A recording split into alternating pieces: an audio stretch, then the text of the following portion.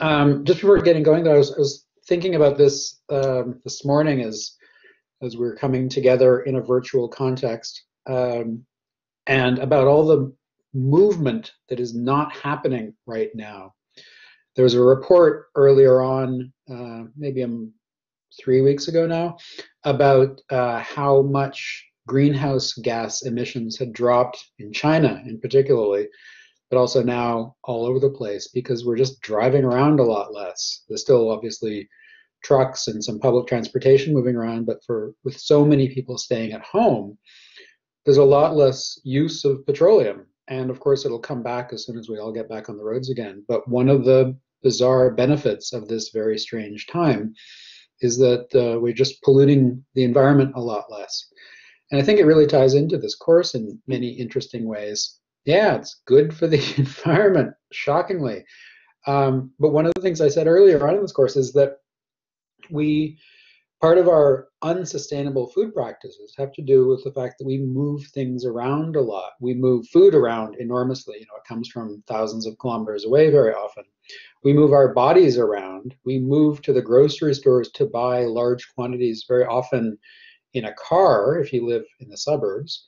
Um, but even if not, we move around a lot. We also don't necessarily shop very efficiently because we know we always have access. We can always go out to the grocery store.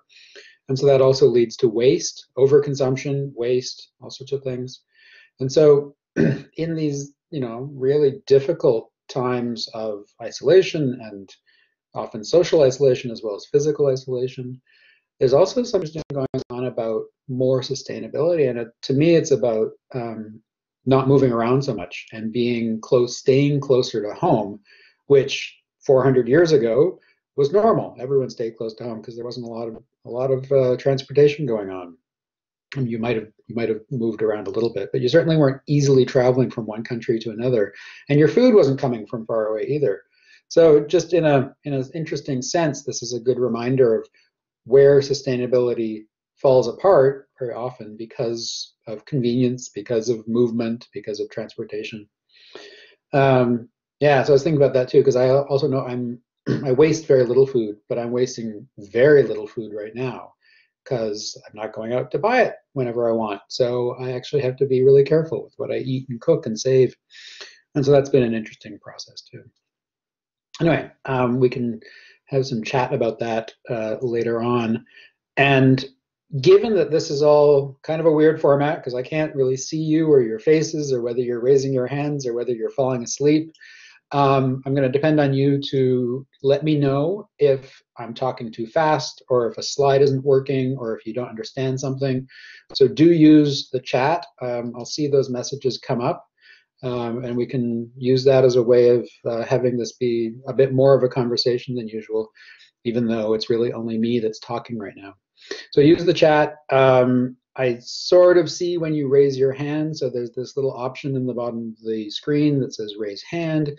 You can do that. Um, I may or may not notice, but just feel free because we're a small enough group to put your comments into the chat. Or if you want to say something out loud, you can unmute, yourself and then just talk out loud because that's also nice to hear your voices sometimes. Um, so do that.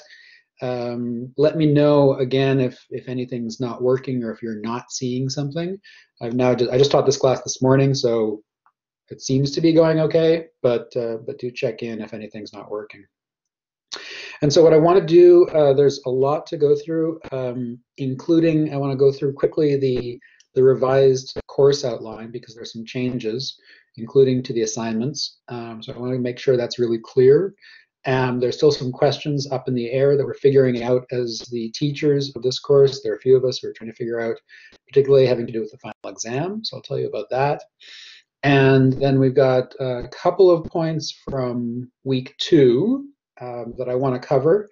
And then we're also going to look at all the content, or most of the content from week three and week four today, because we're having to compress things of having lost last week as a, as a teaching time. So that's where we're going. Um, that's uh, that's quite a lot. So we'll I'll try to make sure that we take the break at the usual time. Um, well, of course, no one's going outside for a smoke right now, so um, it will probably be a bit, about a 10 minute break. But of course, you're free to take a pause if you need to. I'm losing my voice, as you can tell, so I'm drinking my lemon water. so again, if, if something is not clear, just let me know. Um, all right, so I'm going to switch over to the outline, the course outline, which I want to just walk through. There's not too much that's changed, but there are a couple of key things. So this is posted on Blackboard. Um, I did make announcements about the main changes in Blackboard, so keep your eye on those announcements. Uh, just check in every once in a while to make sure that there's nothing that's coming that you're unaware of. Uh, the major issues, uh, so there you can see, is anybody not seeing the shared screen with the revised uh, syllabus right now? If you're not, raise your hand or say something in chat. But what uh, is notable, obviously, is the classes were canceled last week. So that means we press the rest of the course into uh, the remaining time.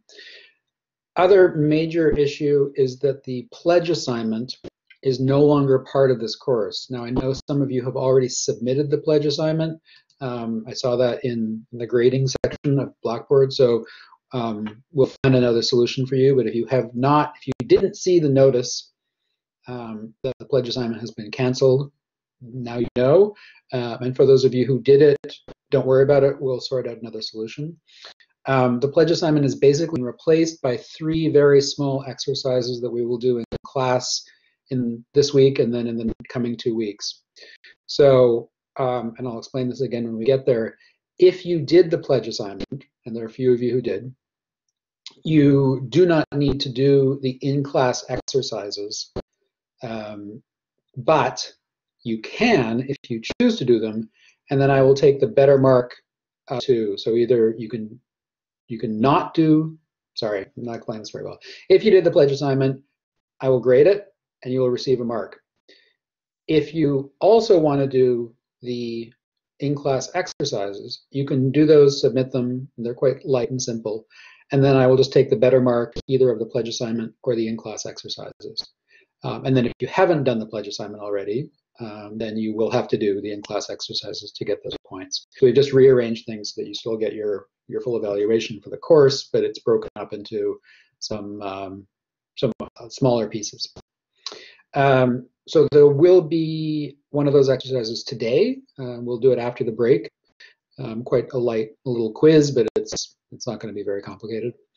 And then we'll have uh, two similar kind of exercises in week five next week and week six the week after, and, and then week seven, something else. So as you can see, we are right now here, week four. We're looking at both policy and profit today.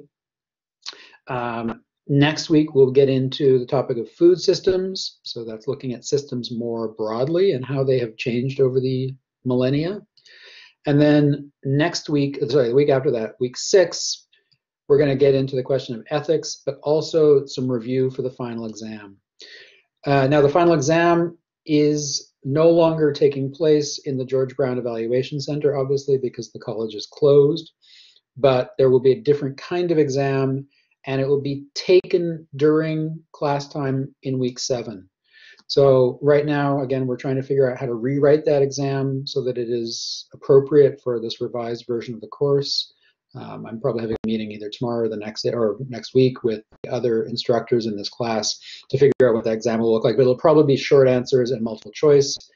And you'll do it during class time. So this time on week seven, and just send it to me by email. Or it might be something that we can put on Blackboard. We're still figuring that out. It's still worth 20% of the final mark, um, but you'll be doing it in class in week seven. And other than that, the other major change is that the checklist assignment is now due week six. So if you're not, we did go through that quite a lot uh, a couple of weeks ago, but if you still have questions about the checklist assignment, we can talk about that today. So I'll check in at the end of the class about whether you need some time on that. So that's the those are the main changes uh, to the course outline. And really, we as instructors at George Brown are trying to do is get you through the semester, teach you as much as is possible, um, have you graduate if you're graduating, or at least complete all your course assignments. Um, it's obviously a pretty crazy time, um, so we're figuring out things as we go, and there were a lot of meetings last week to do that figuring out. Um, but you know, our objective is to make sure that you're, first of all, taking care of yourselves, and second of all, getting through uh, without too much pain. Any questions on what I've just talked about in terms of the course outline? Is anything not clear? And if it is, if there is anything, just this is a good time to pose a question in chat.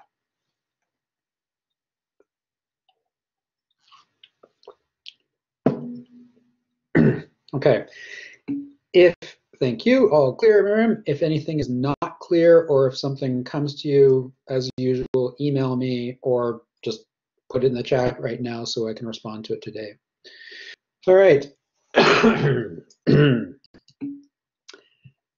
yeah, okay, so I'll go through the checklist assignment again, um, save some time for that at the end of the class. All right. So I want to just step back to week two because there were a couple of, just a couple of little points in that class that were maybe, oh, no, no, I didn't, didn't cover. Not that they weren't clear, but I just remember I, I wasn't talking about them very much.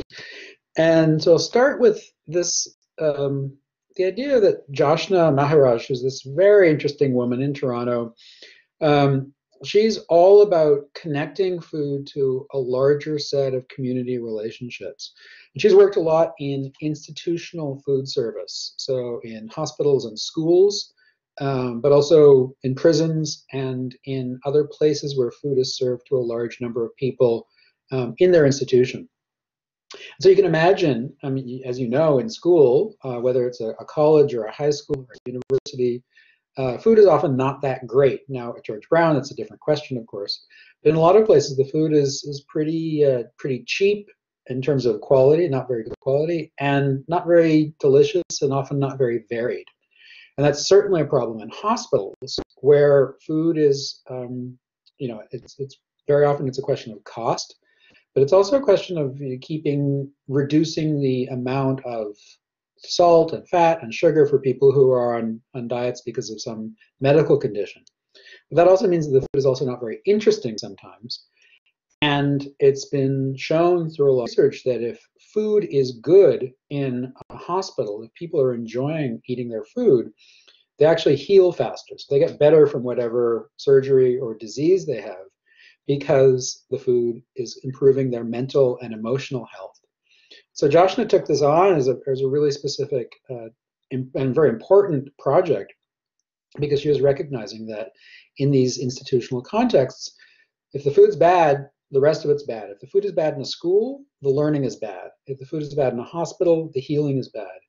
And then in prisons as well, where food is very often a really important part of the day, and where people are coming from a wide range of different backgrounds, culturally and socioeconomically, food is really important because it keeps morale going.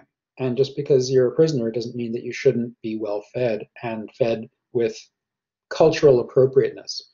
So all of this is what Joshna is interested in working in.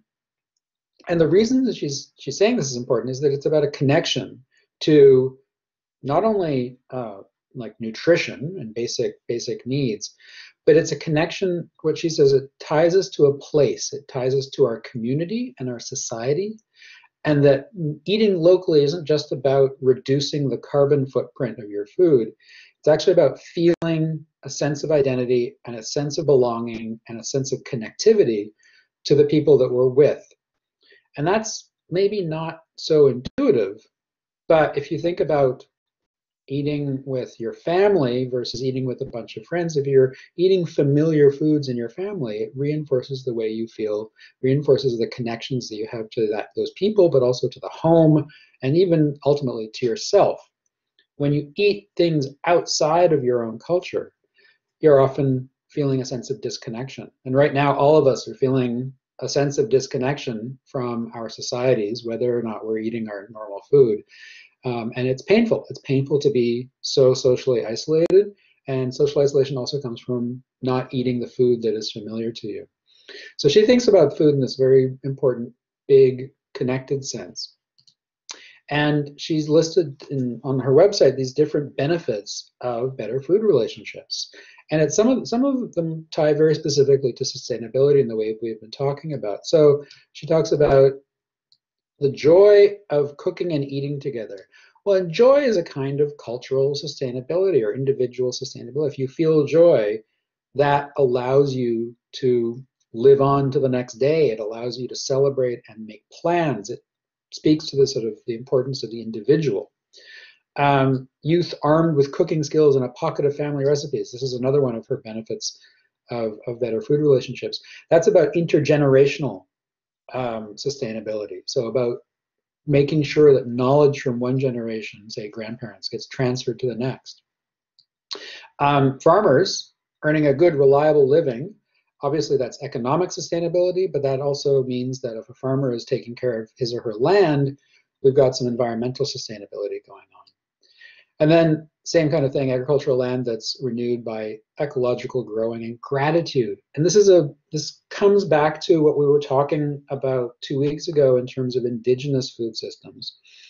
That having gratitude for the land, being grateful that the land exists and helps you produce food, is a way to help sustain the land because it builds a relationship. And now it may seem strange to have a relationship with a piece of land, but that is what people who work on the land have. And it's historically, it's it's what indigenous communities felt very strongly is that this place was not just a place that they were extracting vegetables and animal products from. They were actually having a relationship with that place. And by having a relationship with it, they wanted to take care of it and by taking care of it, it took care of them. So it's really this multi-way relationship. And centered in that relationship is this idea of gratitude, of being grateful to the environment. And then Joshna's final main point is that um, a community grows stronger by having connections through food. And so that's about social sustainability and about relationships that allow us to grow, to celebrate, to actually be well in our communities. Now, all of this relates to this main theme that I wanted to come to in this particular class, which is the notion of the community food center. And community food centers are an evolution of what we have called in past food banks. And there still are food banks, and food banks are very important centers where people who uh, don't have the economic means to purchase their own food can go and receive a basket or a box of free food. And sometimes it's once a week, sometimes it's once a month, depends on the food bank. Food banks are really important because they fill in a gap um, and they help people who don't have access, who don't have the money to buy food. Um, very, very important. Um, but at the same time, they don't always deal with all of the issues that food is related to. So yeah, the food bank will provide free food. And the food comes from donations, either from individuals or from businesses. Um, and so that's the way that the food can be free. But very often it's not the most interesting food. It's the food that they receive from donations. And because they operate maybe once a week or twice a week or once a month, the food also has to be shelf stable. So it basically has to be packaged foods and a lot of food banks aren't able to deal with fresh fruits and vegetables, fresh dairy, meat maybe, um, things that can survive for a while, but fresh fruits and vegetables are very hard to keep fresh and in the food bank context. So food banks are good, um, but they're not always addressing all of the issues that come with not having the economic means to buy food. And so that's where the food center, the community food center, became a new idea. Uh, Community Food Centers Canada is actually an organization that operates a bunch of different food centers across the country. And what they do is they, yes, they give free food away, but they also work with people to help them connect to their community, help them meet their neighbors, make friends, uh, learn about cooking the food that comes in their box, uh, learn about growing food, learning about how food is connected to health and um, and pride and, and dignity. And so a lot of this, so this map that we're looking at right now sort of demonstrates that food, community food centers uh, are thinking about food in a way that's a bit broader than the way food banks deal with it. So they deal with education. So things like learning how to cook. If you're if you're um, receiving free food and it's packaged food, you have to cook it at some point. But if you don't have culinary skills, then that food's not so useful. But it's also about things like equality and engagement, making sure that people of all classes can have access to the learning, to the food, and engagement, getting involved. So the food center, the community food center, is not just a place where you go, you grab your box of food and you leave. You might stay there for a while. You might stay there for an hour and take a class. You might stay there and socialize with people. You might get some counseling from maybe a jobs counselor. You might have uh, resources that help you find an apartment or a home if you're if you're living either in a precarious situation or you don't have a home. So the community food center is trying to address all of these issues at once, making it dignified and hopeful to receive this food rather than for some people who can't afford food, it's kind of shameful to have to ask for help. I know when I have to ask for help about anything, whether it's receiving food or receiving assistance of any kind, it's it's very difficult for me. And so imagine if you are someone who doesn't have the money to buy food, it can be very challenging in terms of the emotional. So the community food center is addressing that as well. And things like health and how health is related to food and how we can have a community support us in some of these issues um, that have to do that with the, all of the other conditions that a person is living in who might not have access to food. So that's what the, the community food center is really thinking about holistic needs uh, and not just nutritional needs. And then this is some of the numbers that demonstrate the, the positive impact of community food centers. Um, so that 92% of the people who were surveyed in this which said that their community food center is an important source of healthy food. Some people say they've made healthy changes to their diets. 80% of people who visit. 55% um, of people say they've experienced improvements in their physical health. 70% improvements in their mental health. And then the people can make friends or meet someone that they can count on in a time of need. So it's really about this, this holistic view of of how food plays an important role in connecting us in our lives. Um, so the Community Food Centers of Canada is one organization. There are lots of smaller ones. Um, there's one here in Montreal. It's actually not that small, but it's local to Montreal. It's independent called Santropol Roulant. And Santropol started as a cafe and basically a Meals on Wheels organization. Meals on Wheels are basic is a it's a it's a it's a what it's a community organization that um, makes food, prepares it, cooks it, and then packages it up and takes it to people who are in their apartments or houses who can't get out. So that's right now that's all of us. But um, before COVID, uh, people who were either chronically ill or older people who had mobility issues or anybody who just can't leave their house for one reason or, or another, of course, can't go out and buy shoot buy food and cook it and bring it home and cook it. So Meals on Wheels is a way to get cooked, healthful food out to people who are in their homes. So this was the cafe and the Meals on Wheels nonprofit organization. But because Santropol was Santropol, they decided to do all this on bicycles rather than on in cars. And that's very practical because the neighborhood that Santropol is in is very urban. There's not a lot of space for parking. And so bicycles are both more sustainable and also more um, more useful because they can you can park them more easily. So then they had bikes and Meals on Wheels and a cafe, and they added a bike shop, a community bike shop where you could come fix your bike and talk with other people who are interested in biking, and then maybe volunteer as a bike delivery person of the food. So they started growing in this organic way. And they now have a much bigger building that they're occupying. It's got a commercial kitchen in it. They have a rooftop garden. They have uh, they have beehives on top of their rooftop as well. So they're growing food, they're producing food, they're selling food, they're cooking food, they're delivering food. And this is a, this other kind of approach to healthy people, healthy food.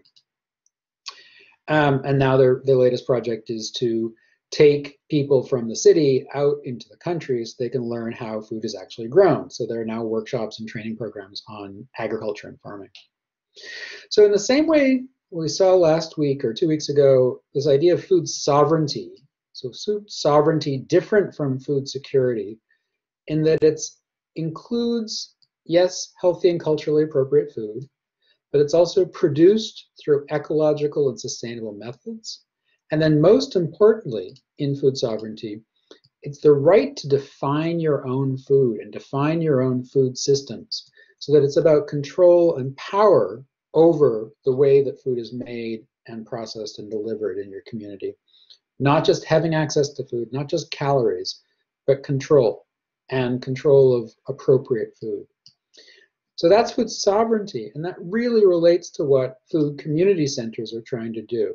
So in the same way that it's not just about a food bank delivering calories to people in need, but it's a few other things. It's a welcoming space, so it's a space that people might want to stay for a while, where people can grow, cook, and share food. So it's not just about receiving free food, but learning how to do something with it. It's a place of advocacy, so it's about making change in the world. And importantly, it's high quality food that's delivered in a dignified space, in a space that people can go into and feel comfortable and feel proud and feel connected. So it's taking this idea of the food bank to the next level because it's a more through a more holistic way of thinking about um, providing food access. So that's just uh, wanted to come back to that because it's it's this in this layering together of ideas in the same way that Santropol layered on different aspects of its, its organization over time. The food center is really about layering on other benefits, other tools, and other points of connection um, so it's not just the food, but everything that the food belongs to. And that's where it's sustainable. That's why, because it's about creating sustainable accessibility to food, not just accessibility. Does that make, I hope that makes sense. Um, any questions about food centers, community food centers versus food banks, or any other questions? No? Okay. If anything comes up, feel free to pop those questions into the chat. Thanks, Pratik. All right, moving on. Policy.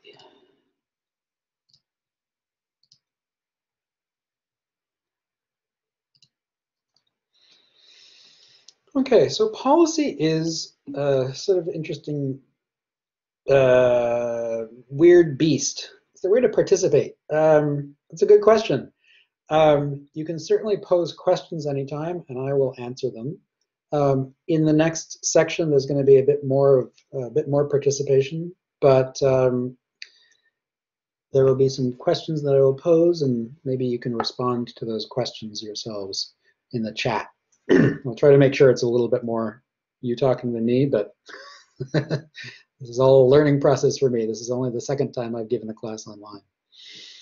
All right, so in, in policy, um, there are a lot of different pieces that come together. And policies, you know, we talk about policies, we, we hear the word policy, but it's a kind of funny thing because it's a bit abstract for most of us. Most of us don't have policies in our, or we don't deal with policy directly in our lives.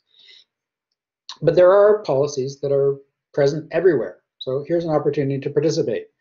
Um, what policies are you aware of in your personal life right now, for example?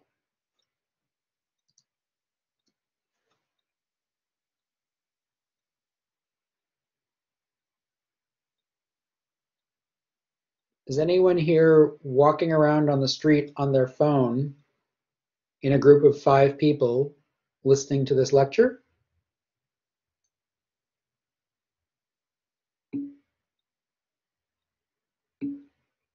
No, no, no. Okay, so why not? Why are we not all in a classroom together right now?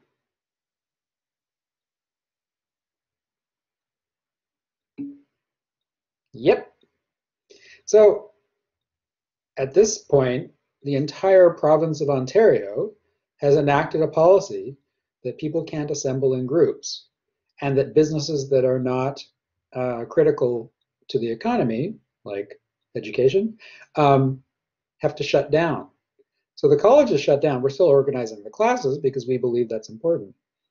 But the policy that the government of Ontario just enacted was shut all non-required services down and nobody can assemble and you should stay in your home. There's some more, uh, even more forceful policies in place right now. The federal government has uh, enacted or has put into action the, the Quarantine Act. And so it is now not just a policy, but it is a legal requirement for you, if you've been traveling outside the country, for you to go immediately to your home as soon as you cross the border and stay there for 14 days, right? Yeah, and you can be arrested or fined for not following that rule, that policy that the government enacted. So policies are created by governments, but they're also created by um, organizations. Well, there's yeah, there's another question. Yeah, it's okay to go out for walks, but the standard is that you go out by yourself. you're not allowed to go in groups. Um, and if you're outside, you want to be staying, or with your dog, yeah, but you want to be staying at least two meters away from any other person. And that policy is been expressed, but it hasn't been necessarily written down. That's what we're calling social distancing or physical distancing. And this is basically a public health policy that is being communicated to us in order to change our behavior, in order to keep us from having close contact with other people so as to reduce the spread of the virus. So policies are sometimes created at the federal level, at the governmental level of the, of the country. Sometimes they're created at the provincial level. Sometimes they're created just at the institutional level, like George Brown has lots of policies. They're written down and they're communicated to you in different ways, basically as PDFs on the website somewhere. Um, but then at the even personal level, some families might have policies in regular times, like no using your cell phone at the dinner table, or you're only allowed two hours of screen time a day, or everybody eats together um, at breakfast, but we have lunch separately. So those are much more informal policies, but they're kind of the same thing. And a so a policy is basically a rule or a plan to accomplish a desired outcome or to structure behavior in such a way as to achieve a desired outcome. And policies are very often created in order to address a problem. So right now we've got pandemic, that's a problem. And so we have all of these different policies being created, and they're being created very quickly in order to deal with the problem of transmission and the health services not being able to keep up and all these other things. So this is where policy actually becomes very meaningful to each one of us in some way.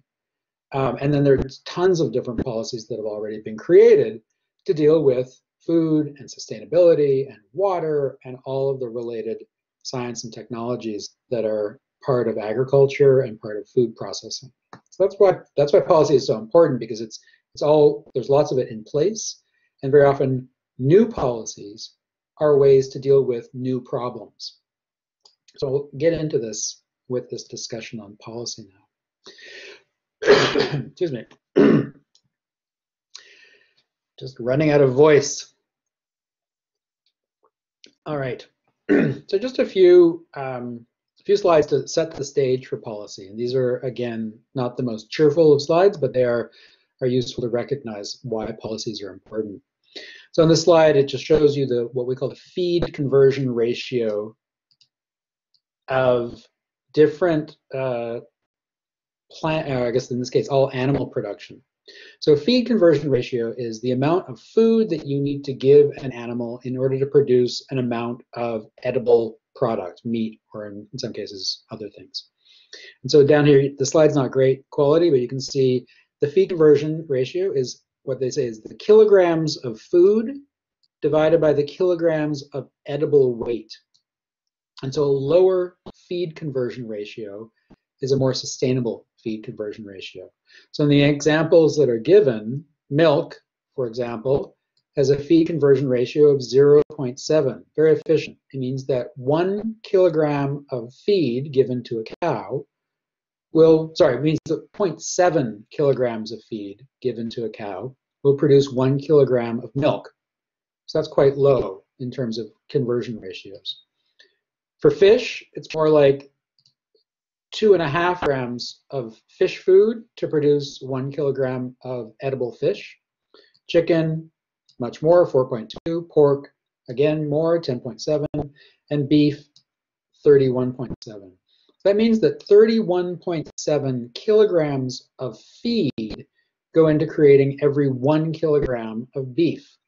And that's why we talk about beef production, cattle production, being so unsustainable because it really takes a huge amount of, of animal food to create a small amount of human food. Um, now, this is just the feed, right? We're not talking about water. We're not talking about waste. We're not talking about all the other things that make uh, beef production sustainable. But you can see on this, this chart, you know, there's the curve that some things like liquid dairy, more sustainable in terms of the feed conversion ratio, and bigger and bigger animals are less sustainable. And then meat also is about power and access and economic wealth. And so if you see in, in this in this image, um, obviously it's the, the more wealthy countries, Canada, the United States, uh, what's this down here, Argentina and Chile, Australia, New Zealand, Spain, but then all of Europe. These are the big meat eating regions of the world, and much less meat eaten in places like most of Africa, India, and Indonesia. And some of that is because of uh, religious practices and, and, places that don't. Certainly, India is not a big beef eating country, and most uh, areas of the world uh, where Islam is the main religion are not pork eating countries. So we've got a lot less meat being eaten in certain regions. But China and Russia, very big in pork consumption. Uh, and pork is, is eaten in, in a lot of places in Asia, but also all around the world.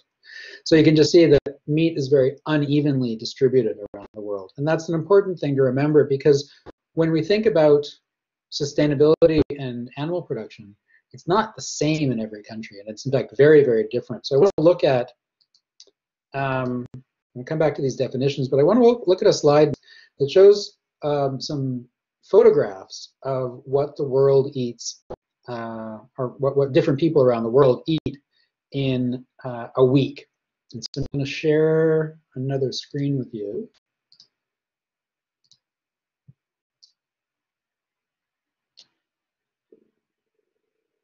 There we go.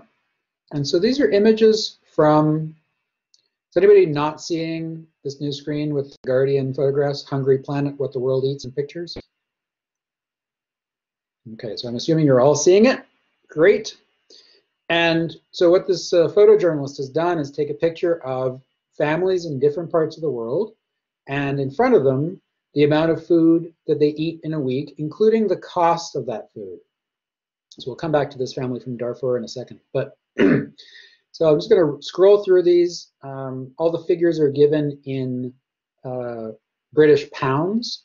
But if you double that, you get sort of an American, North American dollar, although the dollar is a bit changed these days. Anyway, so here, this is a British family from Wiltshire, and there's their food. You can see there's a lot of candy, single bottle of wine, um, a lot of packaged food, a lot of processed food, and some fruits and vegetables as well. But that family four eats that amount of food in a week, and they spend about $320 on it. So here's the family from, from Darfur in the Sudan, and they're uh, a refugee family in a camp there, and they're actually in Chad right now, but they're from Darfur. Their weekly food consists of these three bags of what I think is rice and two different kinds of legumes or pulses, so they might be peas or beans of some sort, and a small amount of other ingredients, including some cooking oil, I think some limes there and some presumably some other things that give this food flavor. so some spices, some chilies. So this family of six, their food costs about a dollar fifty or a dollar eighty per week. Very low cost, it's very minimal food, but they're obviously, if they're refugees in a camp in Chad, they're also not very socioeconomically well off. This family, uh, Japanese family of three, um, again, very different looking food to the Brits in that there's a lot more fresh vegetables, a lot of packaged fish, but not too much packaged food overall. And they're spending about $280 a week. Here's a family in Ecuador, a much larger family, all of their food costing about $40 a week.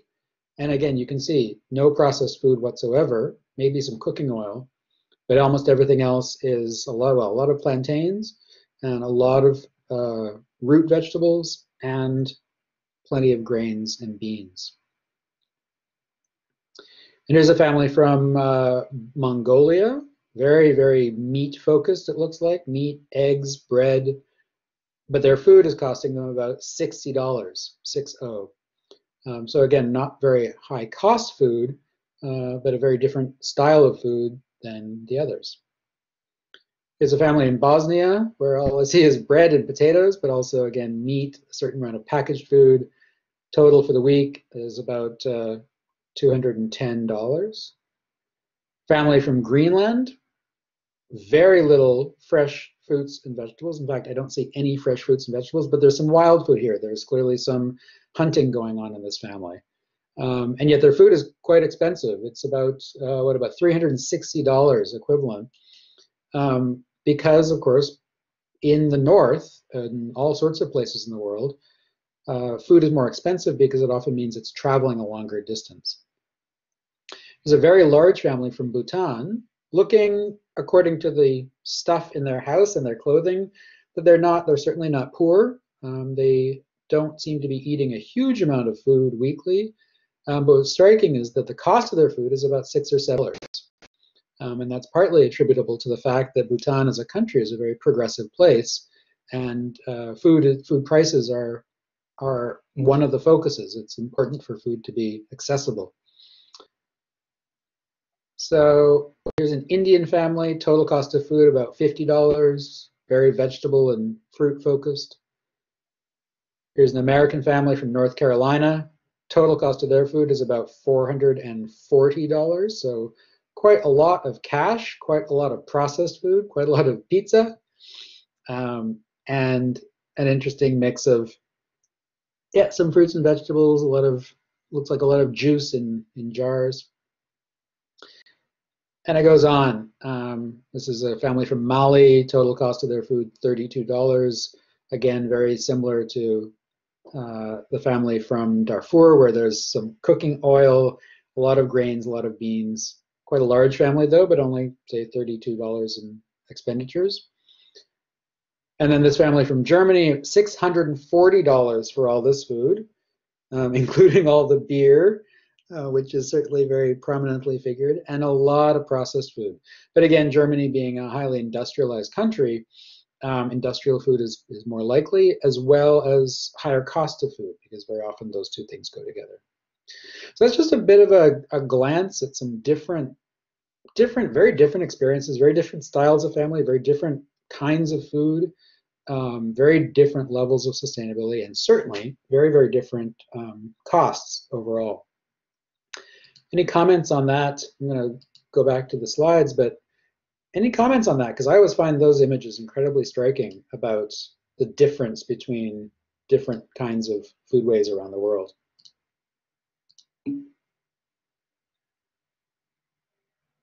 Yes, yeah, and so Pratik, you're saying, yeah, the cost, um, the cost very much depends on the area um, and the seasonality. If again, like within in Greenland, not much of a growing season for fruits and vegetables. So we see that um, certainly in the north of Canada as well, food is extremely expensive because it has to be transported there, and transportation routes are not as quick and easy as they are in the southern parts of Canada. So the same thing would be true for parts of Northern Europe, Northern Asia, um, and anywhere that there's not food being grown and has to be transported, it's going to be more expensive. But there's some great images. There's another, I tried to get into it, but I'm, I don't have access to the, the web page. It's behind a paywall.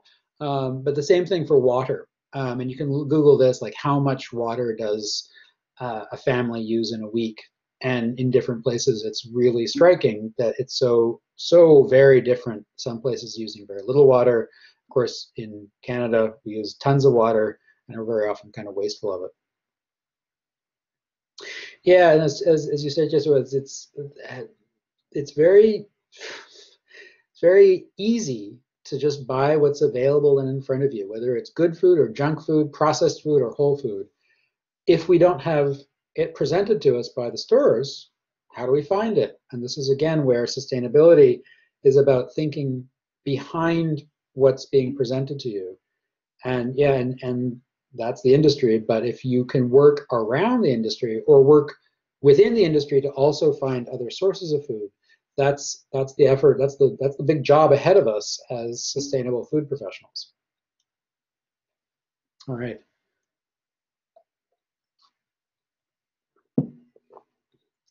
Okay, back to slides.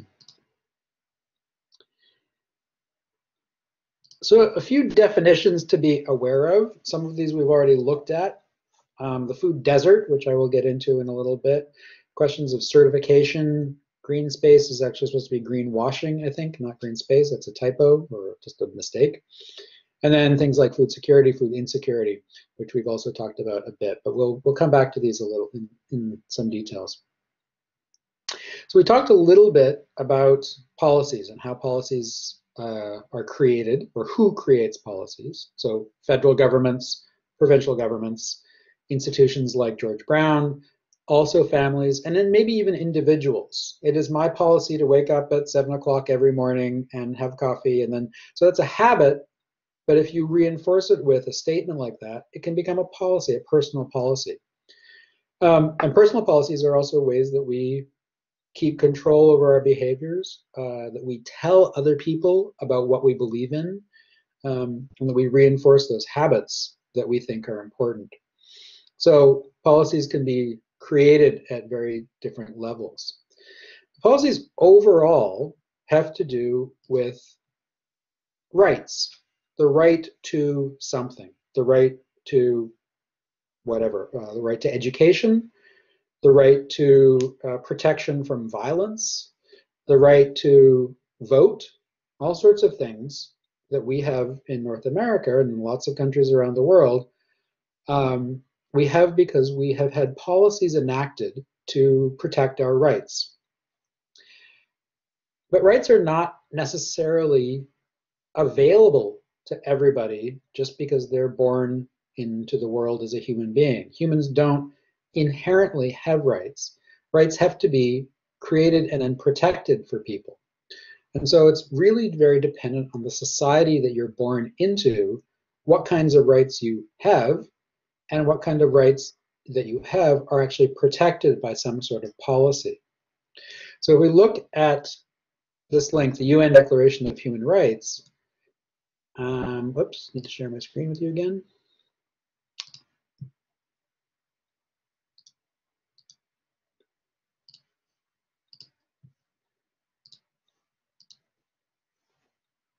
So this is the uh, FAO, or the Food and Agriculture Organization of the United Nations, and their statements about the right to food and how that fits into a larger set of rights that were agreed to by the UN in 1948. And so in this section, the key policy messages in the first bullet point says that in 1948, they established the Universal Declaration of Human Rights. And in that Declaration of Human Rights, it was understood and recognized that the right to adequate food is should be is a legal obligation for every country to create for their citizens. Now, not every country does this, but the UN, as an organizational body, said that this should be true around the world. I'm actually going to have you now watch a video. I won't stream it through um, won't stream it through Blackboard because it'll take up too much bandwidth, but I'm going to send you the link. One second. So in the chat, I'm now dropping in the link to this video on YouTube. Uh, it's just a short video, but it does present why the FAO thinks the right to food is important. It's a three minute video, so as soon as I drop the link in, you can click on it and watch it, and then we will in three and a half minutes and talk about it. So there's the video. I'm going to shut down my audio and video and watch it myself, and now you can watch at the same time.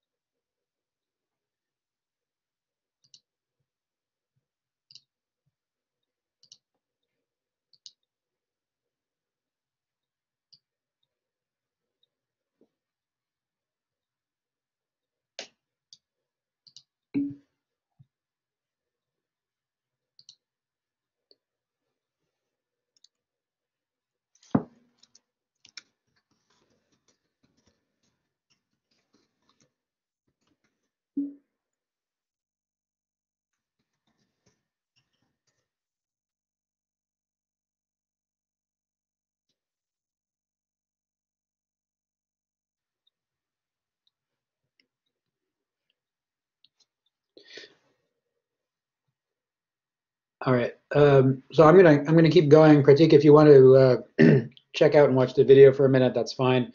Um, but what was what I'd like to ask the rest of you who have seen the video now is what stood out from you from that video? What um, what did you notice, or what was important to you that you remember from what the FAO, what those what those officials were saying about the importance of the right to food? What do you remember that made sense?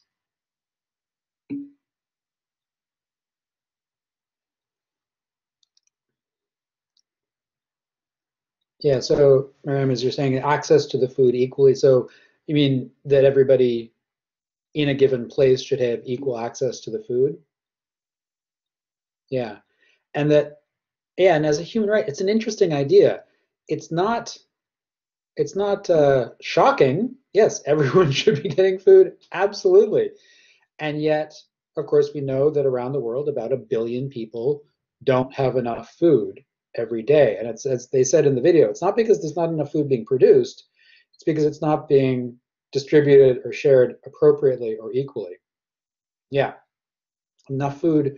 So it's really not, when we talk about sustainable food production towards feeding the 9 billion people who will be on the planet in about 20 or 30 years, it's not about making more, it's about making sure that it's available. And so whether that's about reducing waste or improving distribution or thinking about access and fairness, those are solutions that are sustainable as opposed to just making more and continuing to waste it or not distribute it properly.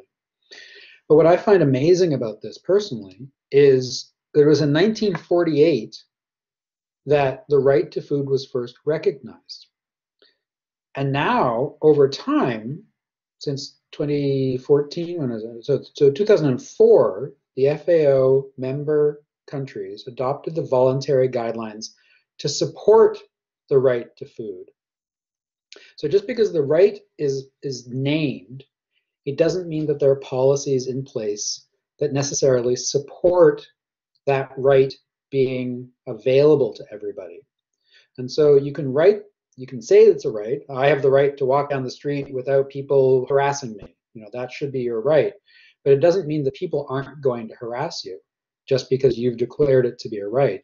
So what else do uh, those rights need, in addition to the statement of the policy, what else? What else do we need for those rights to actually be available to people? This is a question for all of you. What do you think?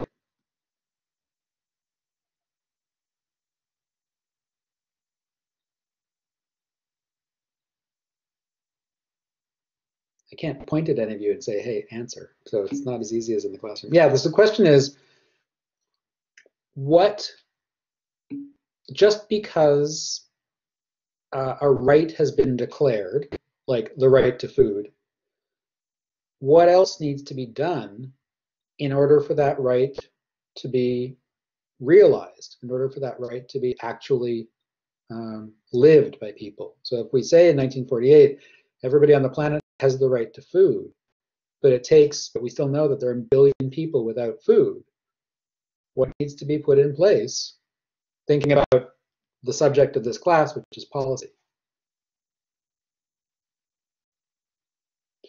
Yeah, so you need to put the rights into action. How do you do that?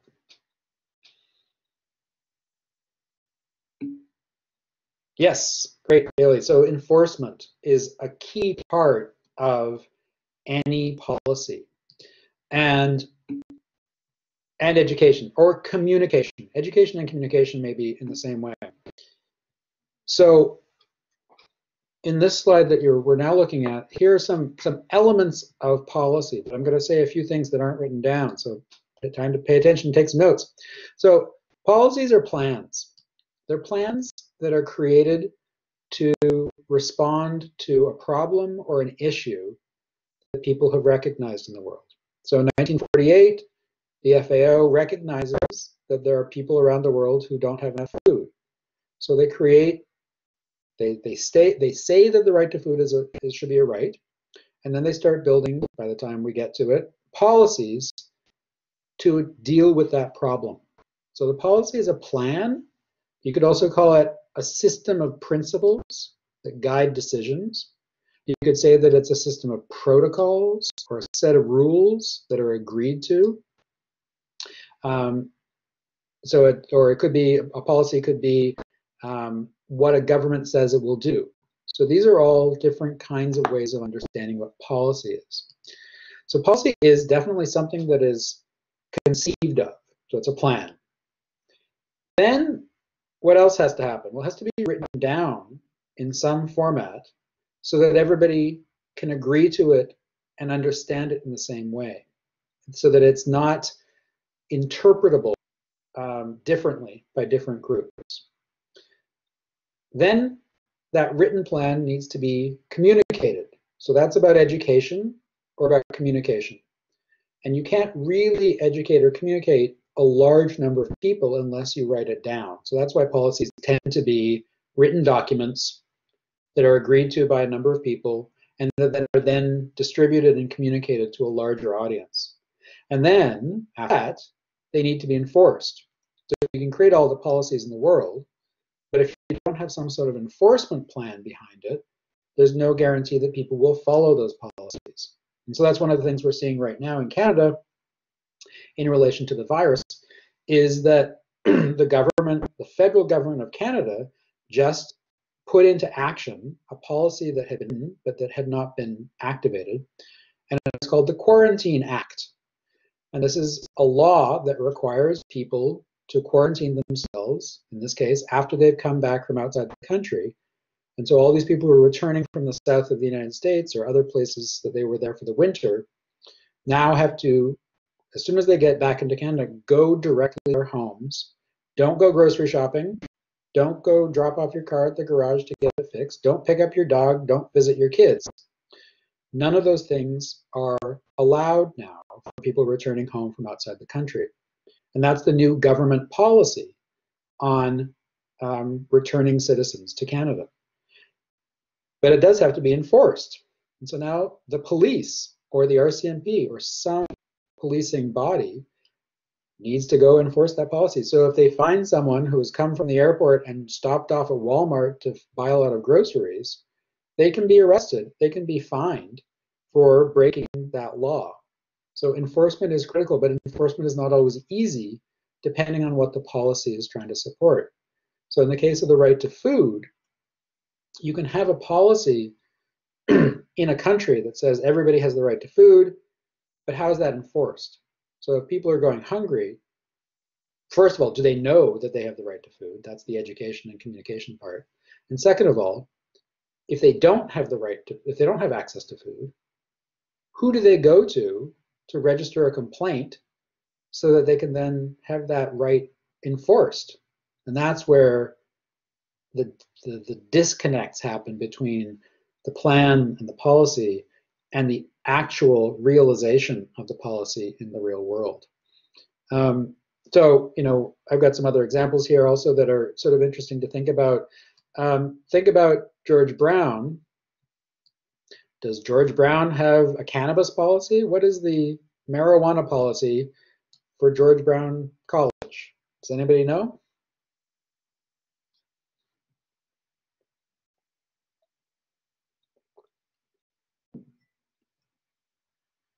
Does anybody know if you're allowed to smoke in the classroom, even if the classrooms are open? Right.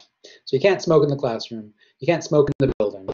But you also can't smoke any other cigarettes. So there's no smoking of cannabis on campus. But there's also no smoking of cannabis or, or regular tobacco inside any building. And that's a policy enacted by the government of Canada.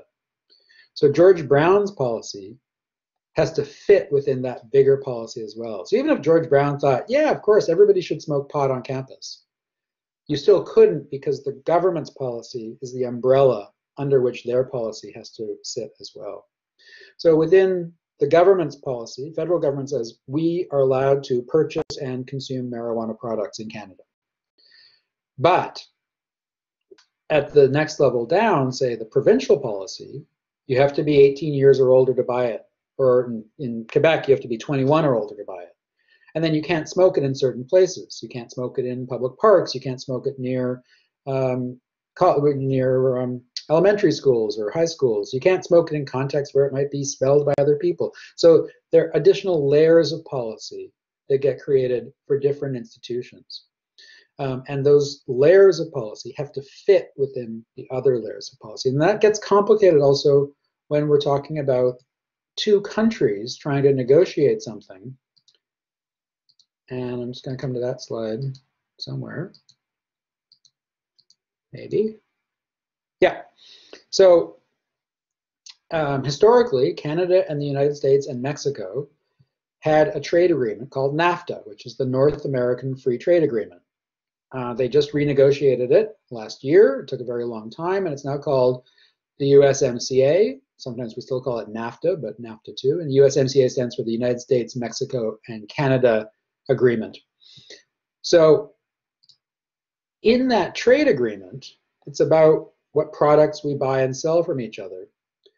But the different food policies in the different countries don't always line up with each other. So it has made it made the negotiation of this trade agreement very difficult because the food policies were not the same. And so some of the examples can be seen, for example, in the case of dairy products. In the United States, their policy is overproduction. So there's a huge amount of dairy, a surplus of dairy, created in the United States. Whereas in Canada, we have a system called supply management, which controls the amount, the amount of dairy that's produced by the producers. But those two things don't work with each other. So in the United States, there's a surplus. In Canada, there's, well, there's a surplus, but there's basically the right amount being produced. But then there's some other issues, like in the United States, dairy producers are allowed to use recombinant bovine growth hormone, which increases milk production in cows. And in Canada, there is no RGBH, RBGH allowed in dairy production. So those two systems also don't work because the RGB, RBGH is, is thought to be not very good for humans to consume. So if you've got milk coming into Canada from the United States, that milk doesn't fit within Canada's dairy policy. And so it makes the trade of milk between the two countries very challenging. So trade then has this effect to sometimes, well, in the case of Canada, we've got the federal, the provincial, the municipal, and maybe the institutional level of policy. But then in relationships with another country, you'd have Canada's policy and the United States' policy. And in that case, there's like these big divides between the two, which make creating trade agreements very difficult.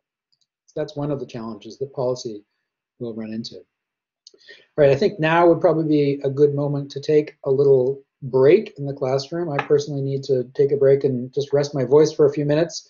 Um, if you have questions about anything, you can pose them to me in the chat. Otherwise, I will say, why don't you come back, um, take a little break yourselves, get up and stretch, and uh, come back and we'll start up again in 10 minutes.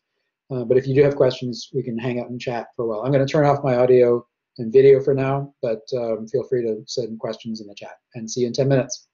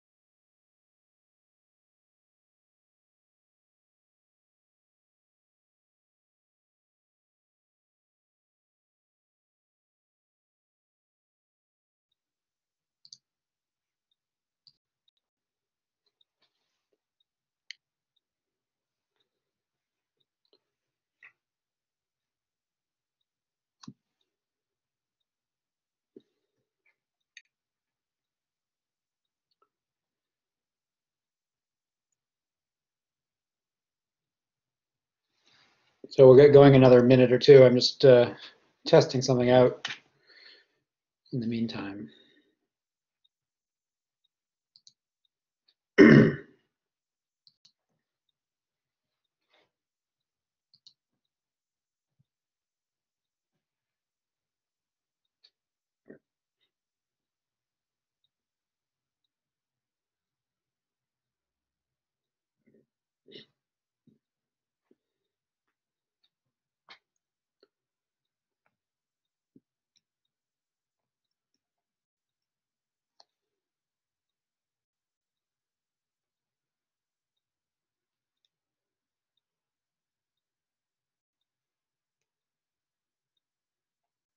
Okay.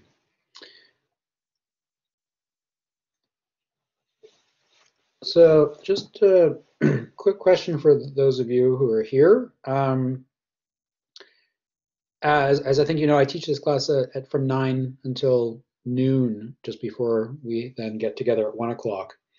Um, and I was wondering if we might be able to combine the two classes. So this is a question for you. Does anyone here have a class on Thursdays from 9 till 12? Yes. Okay. Never mind. yeah, okay. So we'll just leave it as we had it. I just thought if we could combine everybody into one class, then it would be uh, a little bit uh, a little bit less trying on my voice, but we'll just uh, we'll keep it as it is. All right, that's what we thought. All right, so we're going to go on, continuing a little bit on theory, and then we'll transfer over to the other subject today, which is which is profit. Um, and I also want to make sure we save some time to talk about the uh, checklist assignment, any questions that you have. So, as you heard in the FAO video, one of their models, the United Nations models for making policies, is what they call this Panther mo model, and that's just an acronym for these words on screen right now: participation accountability, non-discrimination, transparency, human dignity, empowerment, and the rule of law. And so this is what the what the UN recommends as necessary for creating policy. So when I talked about policy earlier, I said what is five things basically. It's a plan. It's a plan that's then written down so it can be communicated or people can be educated on it. So then it can then be enforced. But then the last bit is that it should sometimes be able to be changed. So if a policy is created that is not useful in the future, or a policy that doesn't address certain questions, we will revise that policy. And that because that's because things change. And so policies need to change to adapt to the new situation.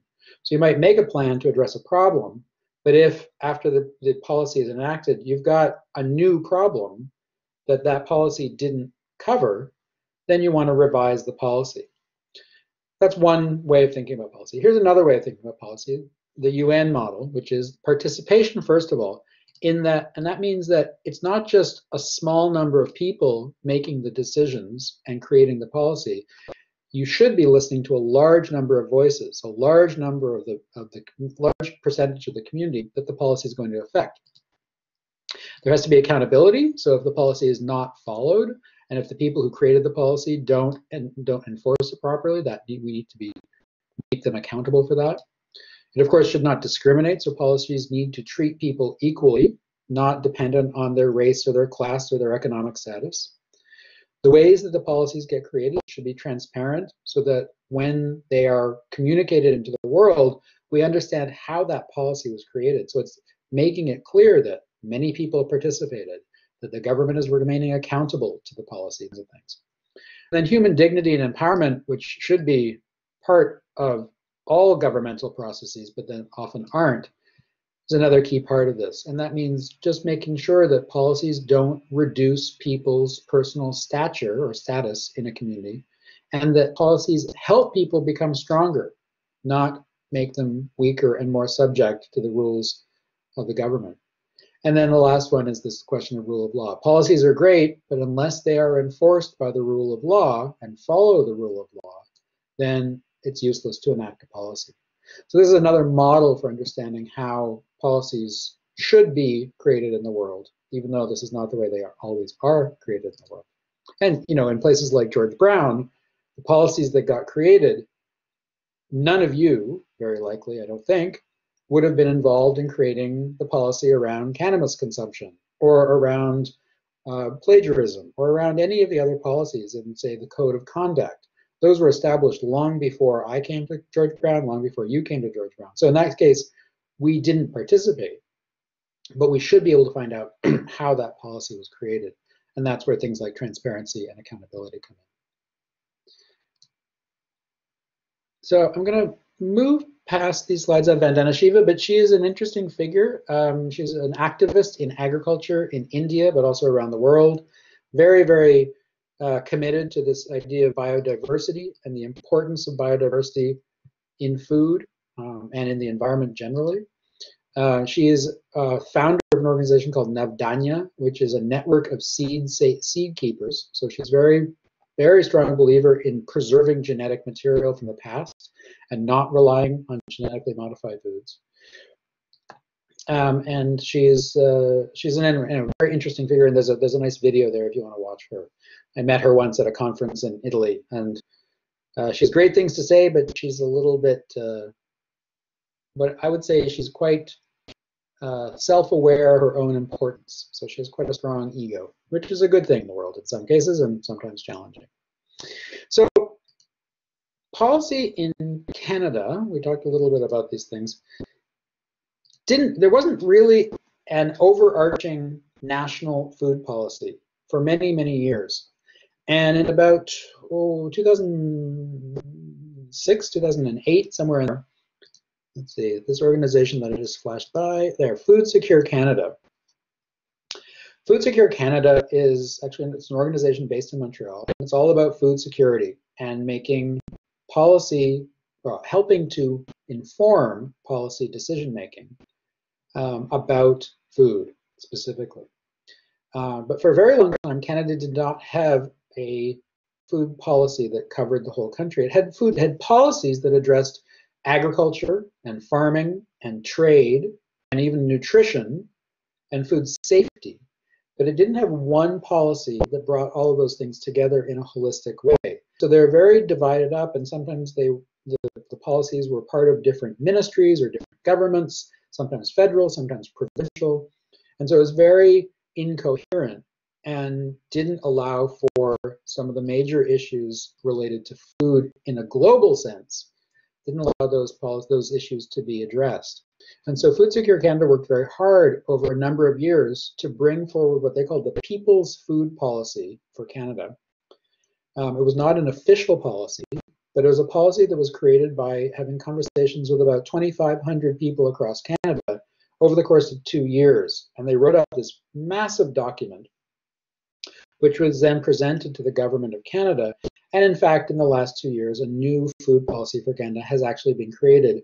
And Food Secure Canada's role in that was very significant because they actually raised a lot of the issues that the federal government would not have been able to put together themselves. And so that's where that idea of the Panther policy of inclusion and empowerment and having a lot of different voices made for a stronger policy.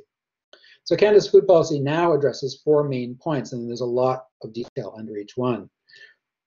The first one is in increasing access to affordable food. So this is all, all has to do with food security, making sure that it is safe, nutritious, affordable, and accessible to Canadian citizens. Then improving health and food safety. So making sure that it is possible to make good choices, making available choices there in places like supermarkets, but also all kinds of food markets. It also addresses environmental sustainability, so questions of conserving soil and water and air. And then the last major chunk, which is this one that we always debate around, is growing more, more high quality food. And the question is, what does more mean? Why can't we deal with what we already have? Why do we need to grow more? So this food policy was created, but then there was a lot of criticism of it from different researchers and food and farmers and different kind of advocates, uh, including Food Secure Canada, who said, yeah, this is good, but it needs to be revised. And so again, we come back to this idea that food policies get created, get written, get communicated, get enforced, but definitely need to be revised over time because things change and conditions change and we get smarter at creating these policies over time. So this is not exactly in sequence, but yeah, okay. So at the, so I talked about levels of policy. At the level of Toronto, there is something called the Toronto Food Policy Council. And Toronto created its own set of standards and policies and plans for how food should be, how people should have access. And in some ways, they're very similar to the federal governmental level, but there's some differences too. So the right to that comes directly from the FAO. Healthy and sustainable, that's part of the Canadian food policy. That the food system itself, so the production systems, the farms, the agricultural processes should be sustainable. Um, but then two somewhat different aspects are food and reconciliation. And reconciliation is this word that we're now using in Canada to talk about improving the relationships between indigenous and non-indigenous communities. And as I've, I've, talked about in the first couple of classes, historically, the colonial settlers who came to Canada treated the First Nations and Native people of Canada very badly and often forced them off their land and into reservations and destroyed their ecosystems and built things like trains and cities on their land. And so over the history of Canada, there have been very bad relationships between uh, First Nations and uh, particularly the governments, but also non-Indigenous people in general. And so at the Toronto policy level, they've named food as one of the ways of increasing the, or improving these relationships of doing this process of reconciliation. And so that's different for Toronto in a way that is not, it's not the same as at the federal level. And then more voices at the table. And that's again comes back to the FAO idea of, of the, the, Panther principle for creating food policies or creating any policy in any sense. Is that more voices make the policy stronger. The more you can include people planning process, the more perspectives and the more needs are going to be addressed by a policy. Makes it complicated. So this is, we're going to come back to Toronto in a sec, but I just want to look at this particular definition here, a food desert. We've talked about food insecurity and CSAs a bit, but the food desert really is just what it sounds like. It's a place where there's very little access to food, like in a desert, there's very little access to water. But the key thing, and it mostly occurs in cities, because uh, in the country it's a different context, but the issue is really this distance to healthful and fresh food. So a food desert is a geographic area where the people who live there don't have convenient access to fresh fruits and vegetables, so non-processed food. Um, and the distance generally associated with a food desert is one kilometer. So it means that if you live in a part of Toronto where it's more than a kilometer to a grocery store that sells fresh food, you're living in a food desert. And that means that you don't have access or as much access as other people. Now, if you have a car, one kilometer isn't a big difference, distance. But if you don't have a car, walking a kilometer can take 10, 15 minutes. And if you have any kind of mobility issues, like if you have a hard time walking or if you're in a wheelchair, these are that's a very long distance, especially if you have to carry the food back with you afterwards. So the sort of scary statistic is in Toronto, half of the population does not live within a kilometer of a grocery store. That means that half of the population is living in a food desert. And this is very common in a lot of big cities um, because cities, as they grow, don't always plan for the people who are moving in, into those cities to have access to fresh food within easy walking distance. But this is a necessary part of food security, and it's part of what's now becoming part of city-based food policies. So yeah, this is a problem.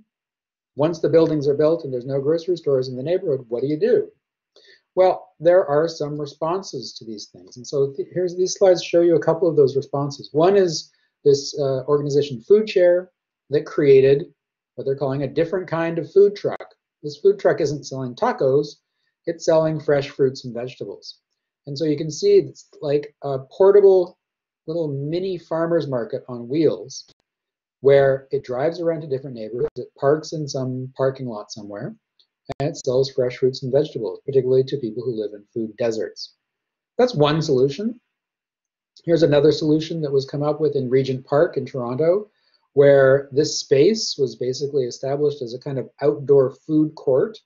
It's not the same as fresh fruits and vegetables, but these, these people, these what they're calling homegrown retailers, were able to make food. In this case, it looks like some salads and some soups and some casseroles of different kinds um, and different foods that have been prepared and then, then being sold into one of these neighborhoods that was previously thought of as a food desert um, and addressing this issue of food insecurity in the urban environment. There are other organizations like Green Thumbs, which teach kids how to grow food, and Seeds of Diversity, which is like Navdanya, which is about saving seeds and sharing seeds so that you can grow food that's not genetically modified in urban environments, particularly on rooftop gardens and community gardens and places inside the city. And another example of an urban response to a food desert is the Moss Park Market. So again, I've got a short video. It's uh, just, just over two minutes long. And it's a report on CTV News from number of years ago talking about this Moss Park Market. And so I'm going to share the link with you again. I'd like you to watch this. We'll come back as a group afterwards. But as you're watching the video, think about how Toronto's food policy needed to be either changed or rewritten in some way to make it possible for this market to exist. So just think about how policy may have affected the creation of this little market. So there's the link in the chat right now. I will turn off my uh, audio and video again, and we'll regroup in about three minutes and talk about this video.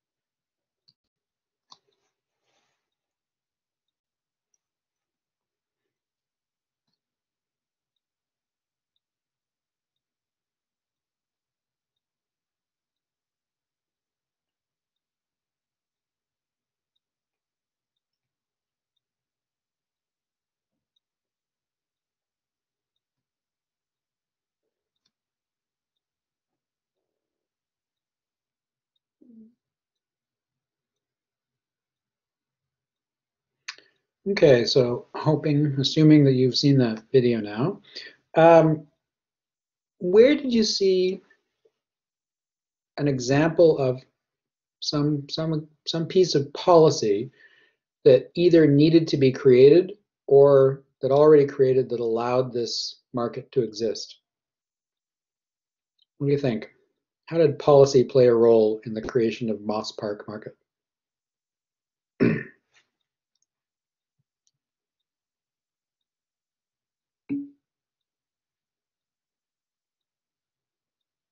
Yeah, so basically, so access to fresh food. This is this is part of the idea of um, accessibility within food. So the right to food builds in this idea of having access to it. What kinds of policies do you think might have, might not have existed that needed to be created for this to be here?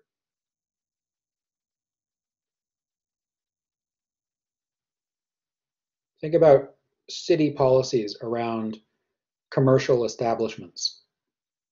What kind of policies would the city either needed did the city need to create or that this, this market needed to fit within?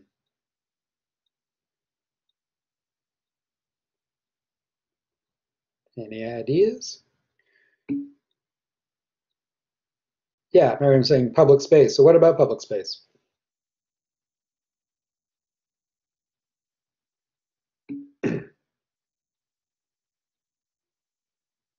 Salvador, what do you mean by pay? this is where chat doesn't work quite so well. I will interpret maybe. Um, so indeed, yeah, okay. So this is going in, yeah, it's going into a high-rise, low-income neighborhood. Um, we saw that the, the market was actually located in a parking lot, in a residential parking lot, right? So ordinarily, a city policy would designate certain areas as commercial areas and some of them as residential areas. It's very likely that they put the, the, the parking lot for this residential area was never zoned for commercial activity. So either they had to get a, a special permit to sell food in a non-commercial area, or the city might have changed its policy or ignored its policy to allow the market to be put up there the building um, owners too, if it's the city or a private owner, they would have had policies as well about who can park in their parking lot. And so if they're if you know ordinarily those parking spaces would be reserved for the residents of the building, but if you're putting in this these two shipping containers, you're occupying parking spaces, and so you have to change the policy of the residential space in order to allow for that that market to exist. Um, there might have been other policies that were that were in place or that needed to be changed. Like we heard that there was, excuse me, uh, electricity, of course, going to that public market. So they would have lighting and air conditioning and ventilation. So maybe there needed to be some policy change about allowing a shipping container to have access to electricity in the city of Toronto. And we saw that there was a, a ramp leading up to the front door to make it accessible to people in wheelchairs. And that's certainly a policy that's in place in Toronto. Um, throughout Ontario, is that commercial establishments have to be accessible to people with reduced mobility or who are in wheelchairs. So they got the wheelchair ramp built, but that was because they had to follow the policy um, that was already in place. So throughout all of that little short video, we saw that policy was was invisible, but it absolutely was necessary in order for this market to exist. Yeah, and then as Jesu was pointing out, the um, the market itself had set a policy of having food at the most affordable price. So although they had to actually make some profit in order to keep this business running, they also didn't want to overcharge the people. It was more was on the edge of being a nonprofit organization. Um, and it's in fact created by a nonprofit organization. But they have to make enough profit to do all the things like pay for electricity. So there's some interesting big policies, Canadian policy in terms of access to food, policy at the city level, and then policy at the institutional level as well. Yeah, and as David's pointing out, it's a it's a really successful uh, big win for uh, not too much change. And it really suggests that within what seems like a city structure or provincial structure of policies, that there's no room for innovation. But of course, there always is. And this is a good example of that. Uh, so another another example I will go go over quite quickly, but Black Creek Community Farm. It's farmland in the city, so you can see in this map at uh, Jane and Finch, basically, I think. That the right direction? Yeah. Um, very densely populated neighborhood. Uh, not, but certainly parts of it, very much food deserts. Um, and so what they've done is they've created this urban farm where people can not only learn to grow vegetables, but then come together in communities, a bit like the, the community food center, and, um, and then also learn how to grow, learn how to harvest, learn how to process, and learn how to cook those fresh fruits and vegetables. All right, so a couple of, I'm going to go through these, these last slides very quickly. Again, you can come back to them. They may be useful in the checklist assignment, but there are a lot of, um, a lot of themes related to food, uh, particularly having to do with water and salmon or, or, GMO, sorry, GMO labeling when it comes to food and policy. Um, The first one is having to do with water. Not only in Canada, but around the world, water is uh, incredibly wastefully used in agriculture. Um, it's also just a very in, water intensive industry. Um, obviously, farms need water, uh, whether it's rain coming down from the sky or underground waterways or irrigation from a municipal water system. Water is huge in everything to do with food and incredibly um, uh, just an incredibly intensive uh, resource, or intensively used resource. Um, and this has become very problematic in a lot of places in the world where water is drying up because of overuse, because of increased salination, because of rising sea levels, um, and where water sometimes just runs out, like it did last year in certain parts of South Africa, and people were limited to maybe two or three liters of water a day. So not nearly enough water to flush a toilet or have a shower, bare to cook with, um, just enough maybe to keep yourself drinking the required amount daily. So this is a real issue, water, all around the world. And without policies, because it's a common resource, without policies, um, a lot of people, mostly industrial folks, will take more than their share of water. And as you may have heard at some point, um, where was it? I think it was west coast of Canada. So in British Columbia, some probably Coca-Cola or Pepsi, one of the big water bottled water companies, was using the water from Canada to be packaged and then sold into uh, the United States. So it was a very weird political battle over who owned the rights to that water and whether water should be owned at all. But this is where policies are important in terms of protecting, particularly as you saw in this briefly in this first slide, in terms of protecting um, societies and communities that have uh, very limited water supplies, and particularly in places like the north of Canada, where they're often exposed to chemical contaminants from either mining operations or forestry operations. And right now, excuse me, huge problem for many of the First Nations in Canada, where they have limited access to water. It's either from lakes and rivers or from wells, but that water is very often poisoned by the industrial operations around them.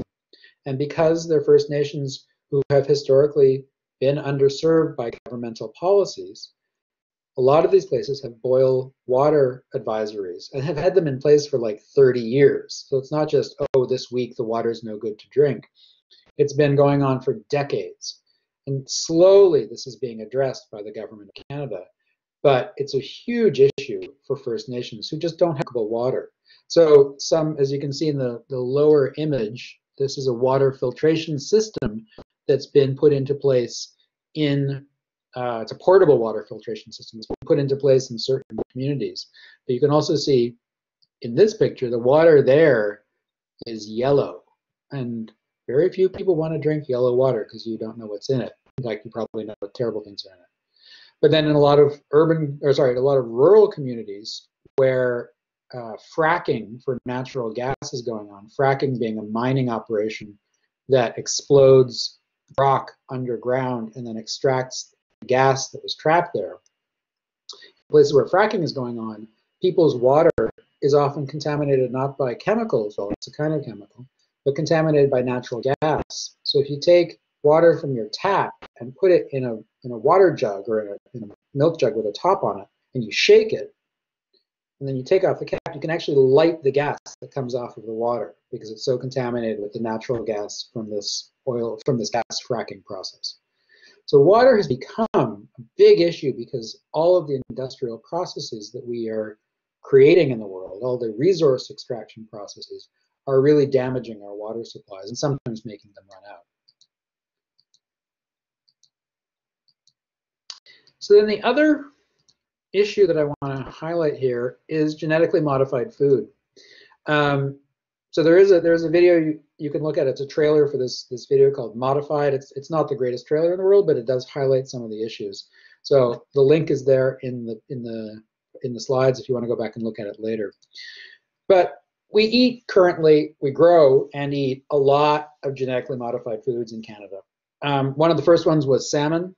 Uh, we started genetically modifying salmon with different genes from, for example, tomatoes and vice versa to improve the growth rates of salmon. Same thing for all sorts of products, corn and soy and canola, which is a seed, an oil seed, um, squash, sugar beets, all of these foods are genetically modified um, very frequently in agriculture in Canada. And this is a big issue because we have been only genetically modifying foods for a short amount of time. And while we know that sometimes they interbreed with other wild plants or other non-genetically modified plants, so that's a kind of biological contamination. We also don't really know about the long-term health effects, either in one person's lifetime or over multiple generations, just because we haven't been eating genetically modified foods for that long. So this is one of the real challenges about about eating, growing and eating genetically modified foods. Yes, it might produce more food. Yes, it might produce food that's uh, more resistant to pests or rot, or uh, they might ripen the foods faster. But we also don't really know about the long-term health benefits. And there are lots of organizations, including, let's see if we can find it, including AquaBounty, which is raising genetically modified salmon, and they claim they are sustainable and safe and delicious and inexpensive. Um, but this is also based on their own research. And as we talked about in the first couple of classes, you always have to be a bit wary of research results that are biased or that are based on some motivation of a specific company. Last little detail um, also about policies and the lack of policies around certain food processes. Most potatoes in Canada are irradiated.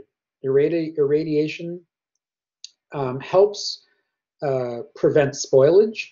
It can help control insects or other or viruses or diseases. Uh, and at the same time, we're not entirely sure what the long-term health effects are of eating irradiated food. We certainly know that radiation is very bad for the human body um, if it's directly exposed. we're not so sure what it would mean uh, to eat food on a long-term basis that's been irradiated. Does it make the food radioactive? Probably not. That can be measured.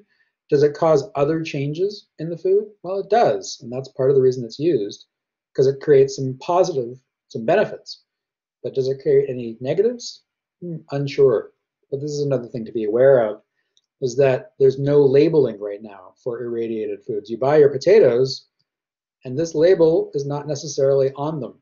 So one of the issues about food and policy and new practices is about making sure that food that's subjected to specific kinds of treatments like irradiation or pesticides or genetic modification is labeled so that at least we have the information as consumers and can make choices about whether or not to buy that food. So that is policy for now. And we will move on to the question of profit and how to make a profit sustainably. But um, just before going on, any questions or comments about uh, about policy, and about why policy is either interesting or boring or complicated or important when it comes to food? And Pratik, one question that though according to the UN we have enough food for everybody, but in case there's a natural disaster like water scarcity, nobody can grow produce in this way. Yeah. Excuse me. Well, yeah, so according to the UN and according to almost all research that's ever been done on international food systems, there's enough food. We grow enough food every year uh, to feed the planet. Now, we may not grow the kind of food that everybody wants to eat. And so that is one issue. Um, and that's a separate issue from your current question. Uh, but if there's a natural disaster, well, or if there are situations like what we're in right now, which is a kind of natural disaster, if we can't grow enough food, then is genetically modified food the solution? Well, it's a very good question. Um, in the short term, it might be part of a hybrid solution. So one solution is definitely um, wasting less and distributing better. Then you may, might add into that things like GM food that requires less water. You might not. You might add into that more low production. You might in, add into that more water conservation policies that need to be created. You might into it, add into it a lot of things. And probably as we grow as a population on this planet, the true solution will be many solutions, not just one. So it's not going to be just about growing more food or growing GM food or growing local food or growing small scale. It has to be maybe all of these things together. The issue is really with genetic, modif genetic modification is we just don't understand the long-term benefits or hazards of GM food. And some research will say genetically modified food isn't that much better in terms of ripening, productivity, water usage. There's lots of science that says that it is, but there's also science that says that it isn't. And you have to then be very critical of both sides of that to understand who paid for the research, what motivations are underlying that, that research, um, what are the biases that are built into the research, including by the scientists themselves. And it's not about, not about um, giving up on science. It's about doubting the motivations, which are very often corporate based, behind the research that says either GM food is great or GM food is prob problematic. Does that answer the question? Sort of. Great. Any other questions? Yeah. If we're growing too much food, why can't why don't we help the people that can't afford buying it? Well, because food is power. Um, so there are, few, there are a bunch of different things. So if you're going into a very conflicted uh, uh, area of the planet, for example, Sudan, um, has been a location of a great deal of war and conflict, very often over natural resources, um, things like oil and gold and diamonds and all those things that have a lot of economic value. So wars are often created over the control of resources. Wars are sometimes created over different ideologies. In any case, in a war zone, uh, movement is limited. And so getting people in and out, getting food in and out is a real issue. So that's one of the reasons why we often see famine associated with war and refugees perpetually moving, living in large refugee camps where the food infrastructure isn't there in the first place, where people are hungry, people are frightened, making strange decisions. There's an awful lot of bad decisions that get made, an awful lot of decisions that can't be enacted.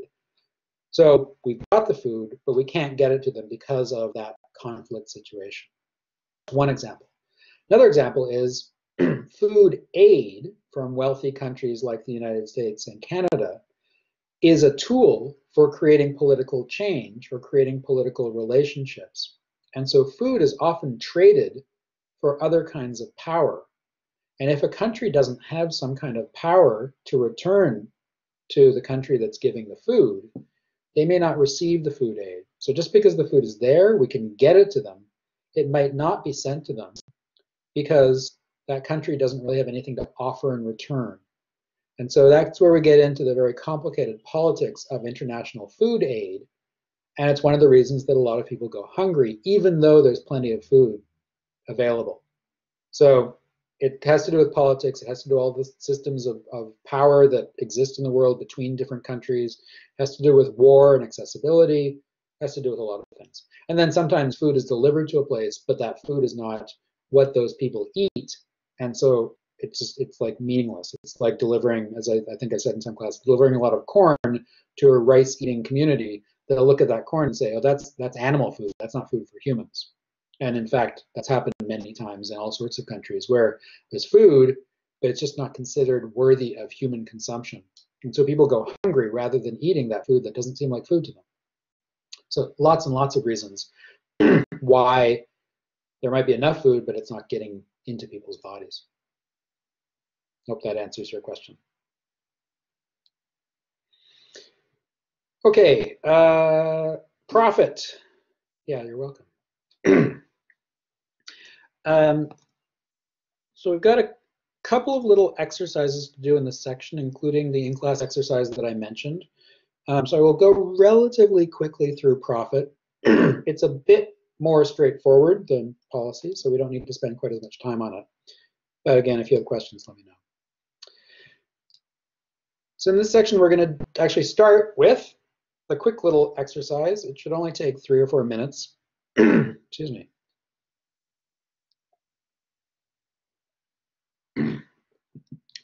And what I'm going to ask you to do is answer these quiz questions um, in a Word document or a Google Doc, something that you can email to me because I want to, I want to be able to receive it and then mark it and give you a grade. I'm not going to submit it through Blackboard because that's just too challenging right now.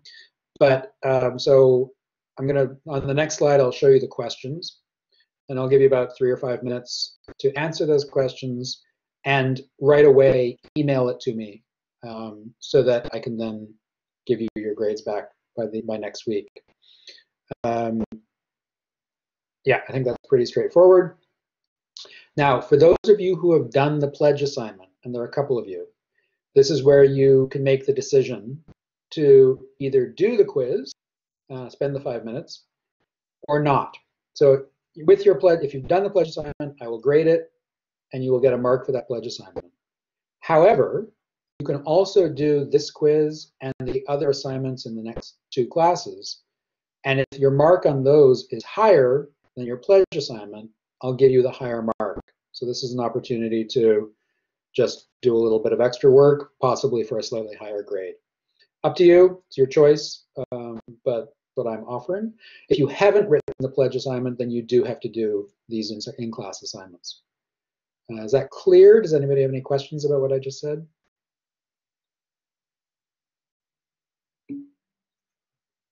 Thank you, Rodolfo. Great, okay.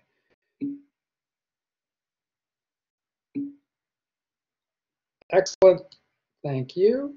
If you do have any questions, pose them now. Uh, so I'll go on to the next slide. So you can do this, you can actually just type it into the email, or you can write up a Word document or a any kind of document at all and then email it to me. I will drop my email address in the chat again so you've got it right there. Um,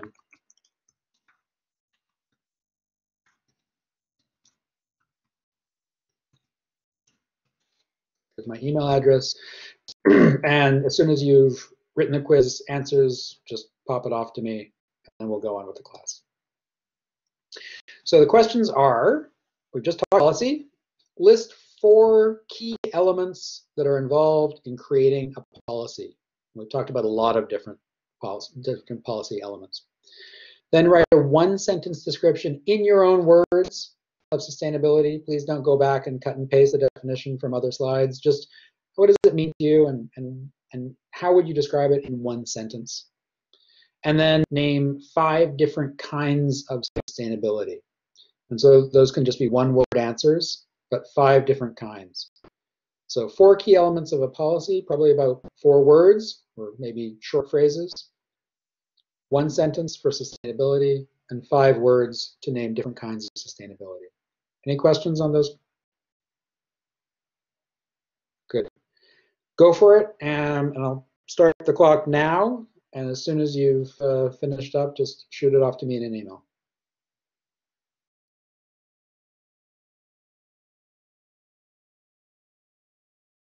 So the, the last part on uh, different kinds of sustainability. We've talked about sustainability from a lot of different perspectives in this class.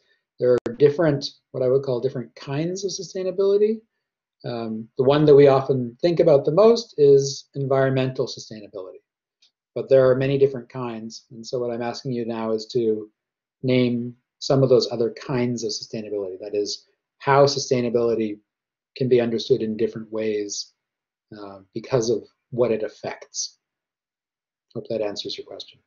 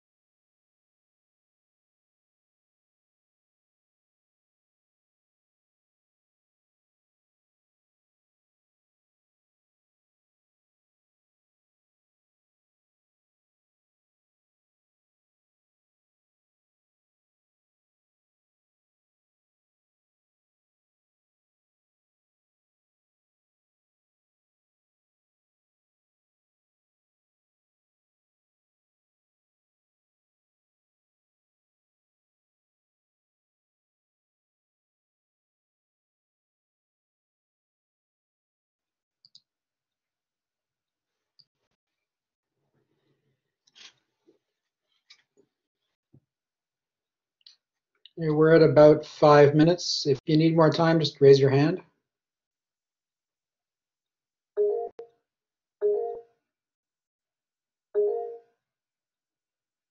Okay, great. We'll give you another couple of minutes.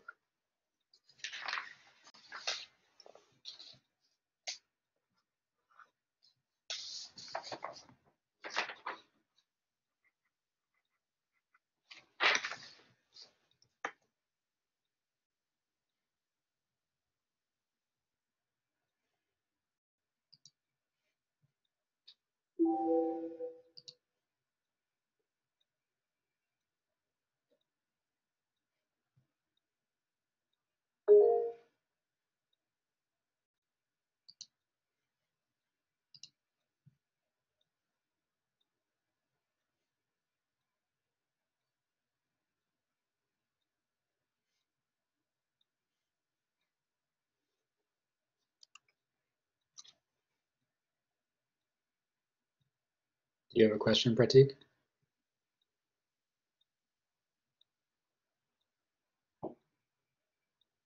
Maybe.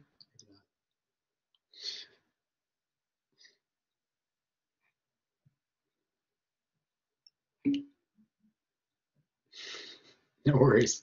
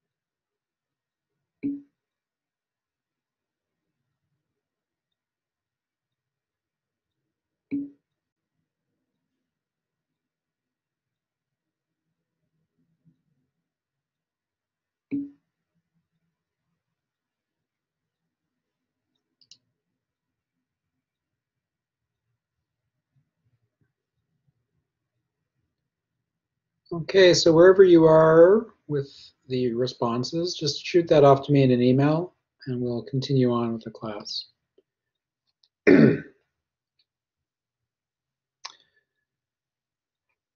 so far I've got three.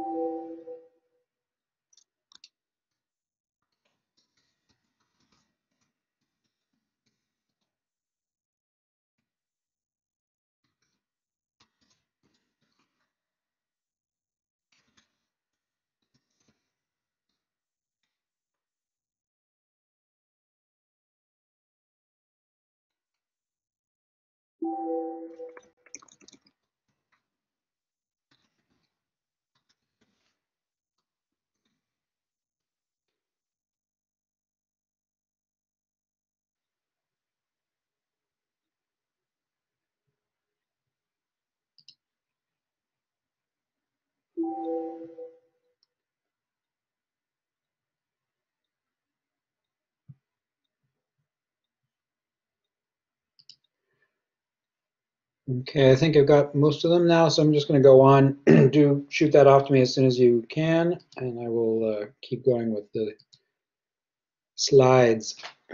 so one of the challenges with sustainability that we're always bumping up against is the idea that if you're sustainable, you're not going to make a profit.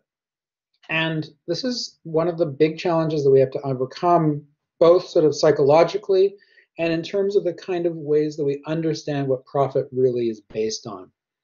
So the first, excuse me, the first part of that is really exemplified by this, this story in Fast Company, the business magazine. And the point is that sustainability doesn't mean less profit, it means profit over the long term. And generally that's, you know, you can understand that in theory. But psychologically and in terms of business models, we are very often driven to make as much profit as we can as quickly as possible. And this is where profit and sustainability start coming into conflict. Because if you make tons of profit right away, um, right, all right, if you make tons of profit right away, um, it can mean that you're undermining your long-term sustainability and therefore undermining your long-term profitability.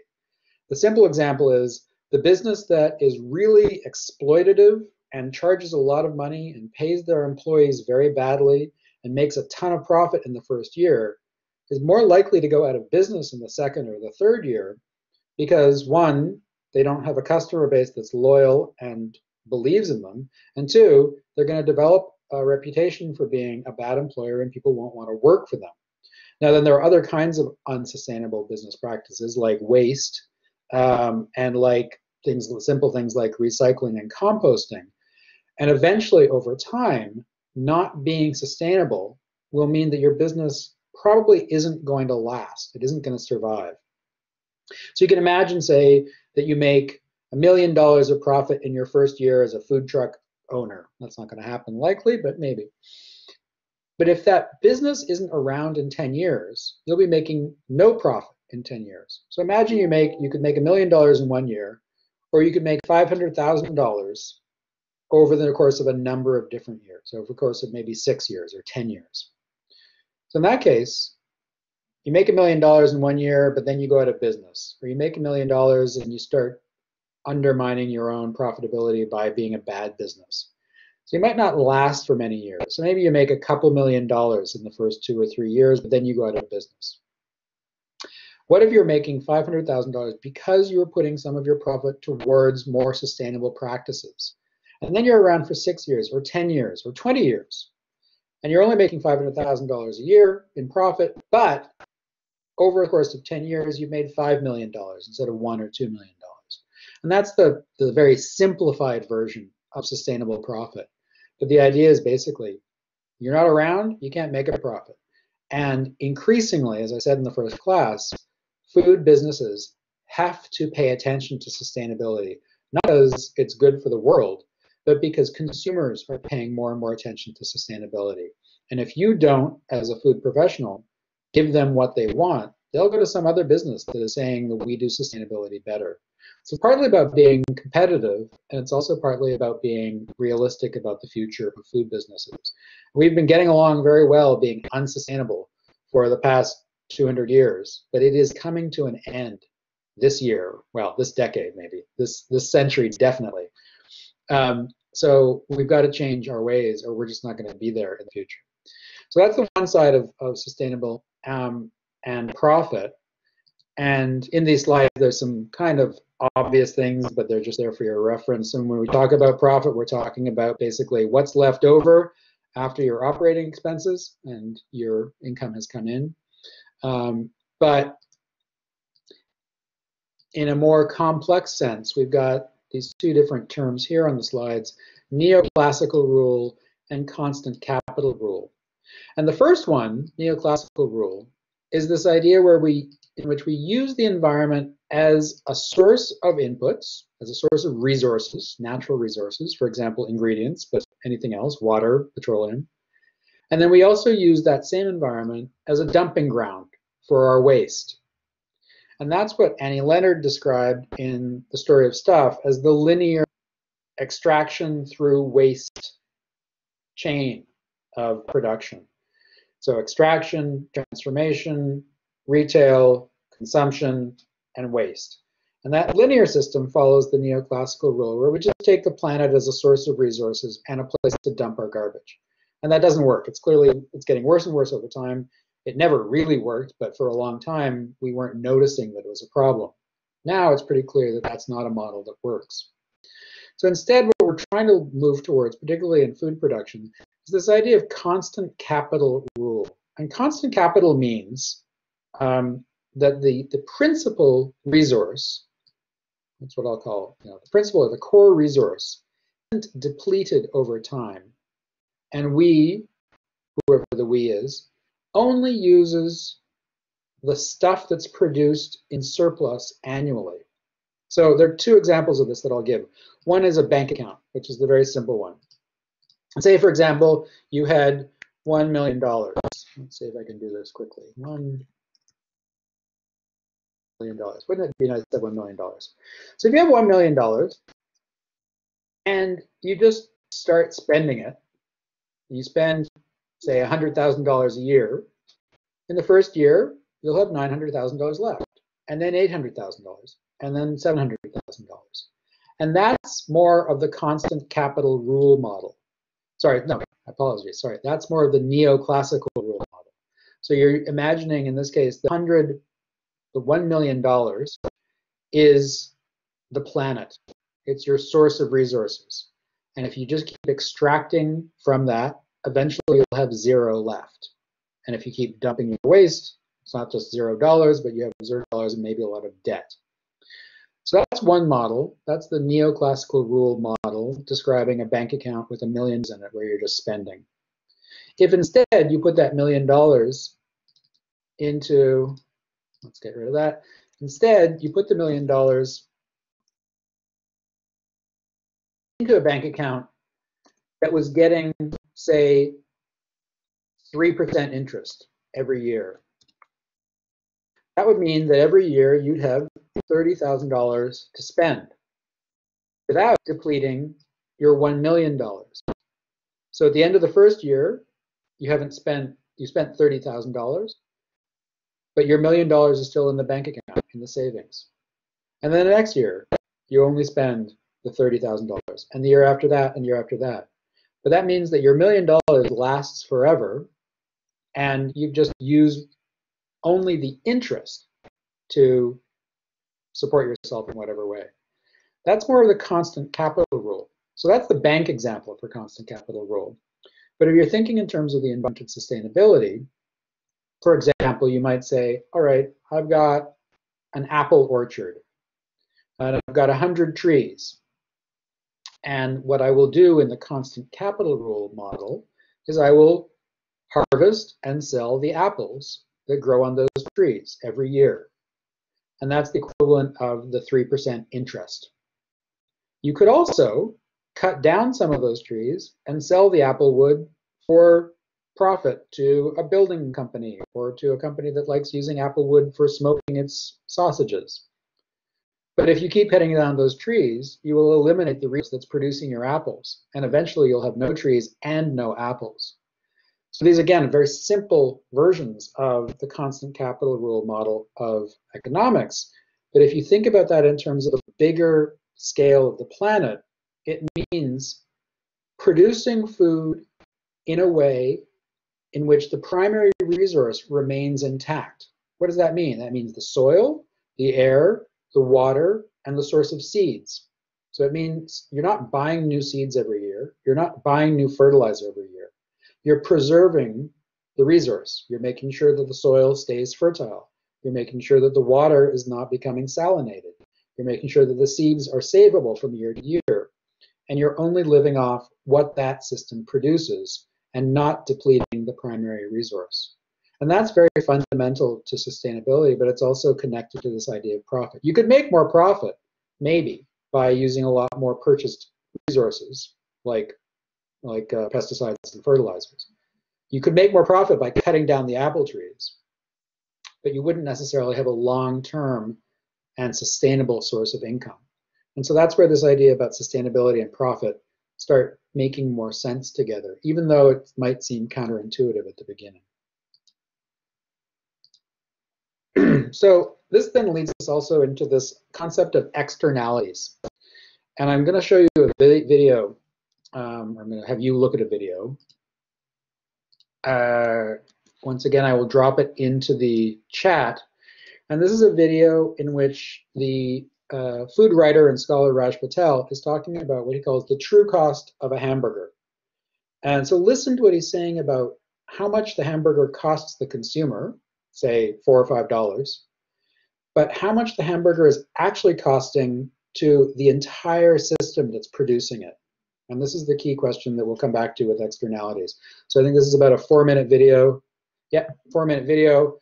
Watch it, and then we'll come back and debrief quickly, and I'll explain what I mean by externalities. So there is the link in uh, the chat, and I'm going to turn off my microphone and video, and we'll come back again in four minutes.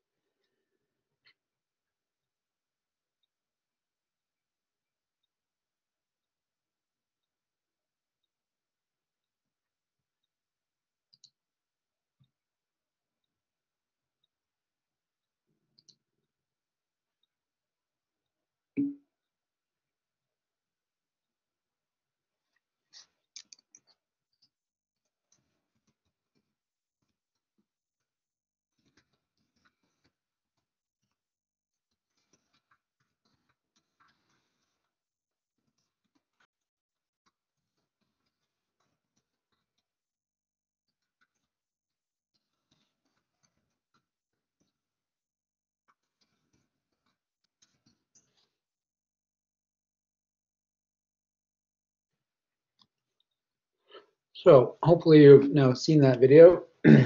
He's a uh, Raj Patel's a fascinating guy. Actually, there's another book.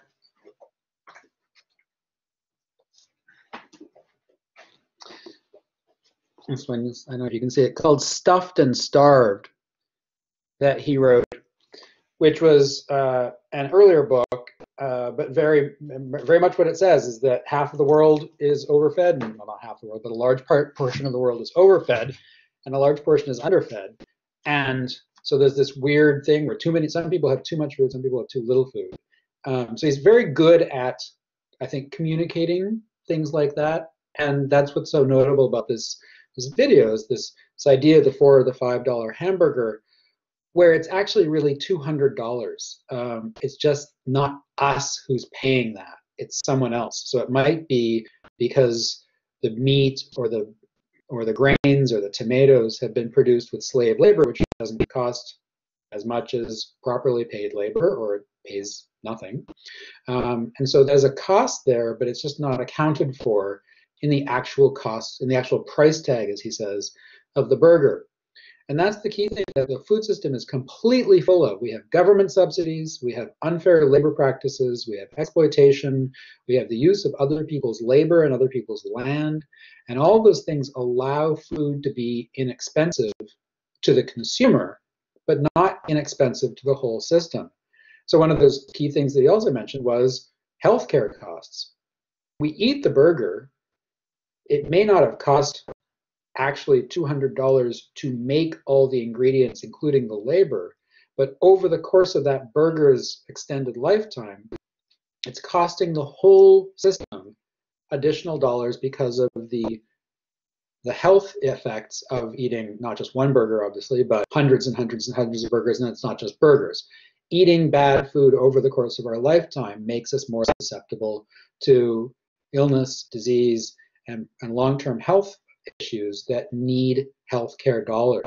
So the burger costs more because it's causing a lot of effects in the world, not just because of the ingredients that it's made out of. And that's where we get to this idea on the current slide of the, the word externality. So the, an externality is anything that is not accounted for in the final cost of something. For example, a hamburger or anything.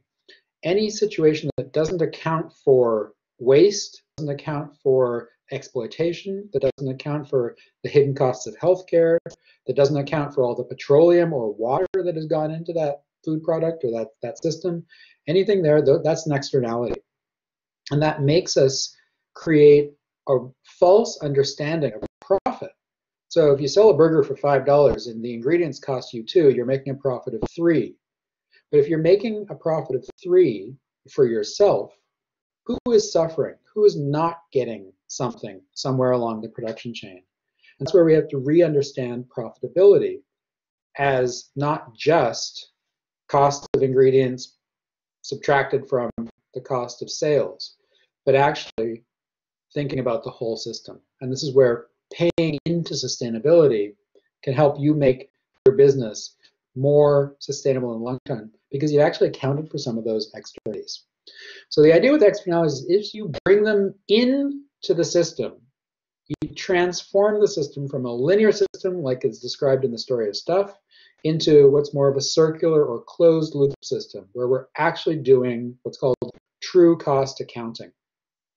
So true cost accounting, just this slide sort of says it all. It takes into account hidden costs, those externalities, by demonstrating them on sort of the imaginary balance book of your business. And that includes everything, environmental costs, health costs, transportation, labor costs, everything. So, externalities, another part of this whole process. So, we've got just a few more minutes. Um, I want to go through very quickly this slide, not to spend much time on it, but as a resource for you for your check assignment. You need to answer some questions about that as well. Um, think about this particularly for the mission statement that is part of your checklist assignment. So as you'll recall, the checklist assignment means you're coming up with a food business that you'd like to maybe create someday. And then you're writing a mission statement or a statement that you will stick to in terms of sustainability. Now, mission statements vary very much from different businesses, from one business to another, and from one person to another. Some of the things to think about in writing your mission statement for your food business is to think about critically what that mission statement actually means. Who does it have an impact on? Uh, what's implicated in your saying, I will create X, Y, Z, I will be sustainable? Well, how? How is it going to be sustainable and why? And what's your bias towards sustainability that should be shown in that mission statement and not be hidden by the mission statement? So it's also about using clear language and avoiding buzzwords so that the mission statement becomes meaningful, not just to you, but to your colleagues, to your partners, to your bosses, to your employees, and most of all, to your consumers. You want the mission statement to be meaningful to them uh, because that's part of your positioning for this business. So there are some examples. Um, you can find these links. Uh, I will show you very briefly right now. One of the useful resources, uh, here we go, is this page on LinkedIn, which is the link that is in that slide. And this is a bunch of different mission statements related to sustainability that this particular person has researched and then made some comments about. And some of these mission statements can be understood as being honest and meaningful, and some of them you might want to be more critical of. So Adidas, the shoe company, do they care about environmental sustainability? Apparently they do. Do they care about financial rewards? Apparently they do. So it goes through a bunch of different ones, including Starbucks. Starbucks Shared Planet is our commitment to do business in ways that are good for people and the planet. All right, well, what does that actually mean? It's a very simple statement. It's maybe one that you can buy into, but when you look behind it, what, what does it actually mean? So these are just some examples you can look at um, as you're doing your, uh, what's it called, your uh, checklist assignment. And then there's some others.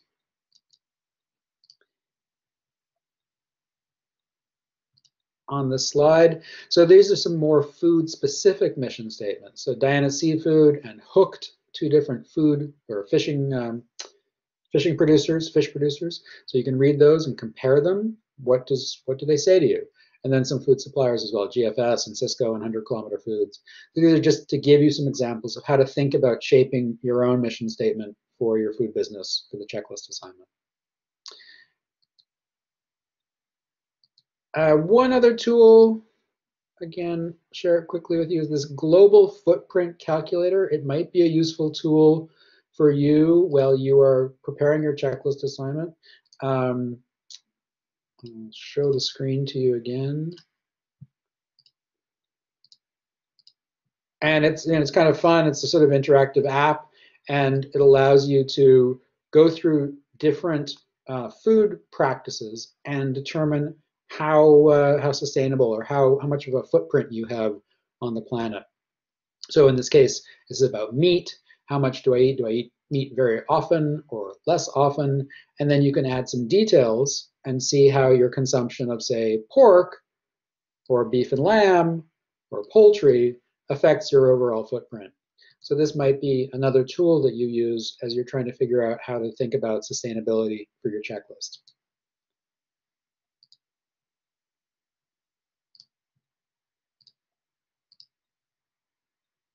And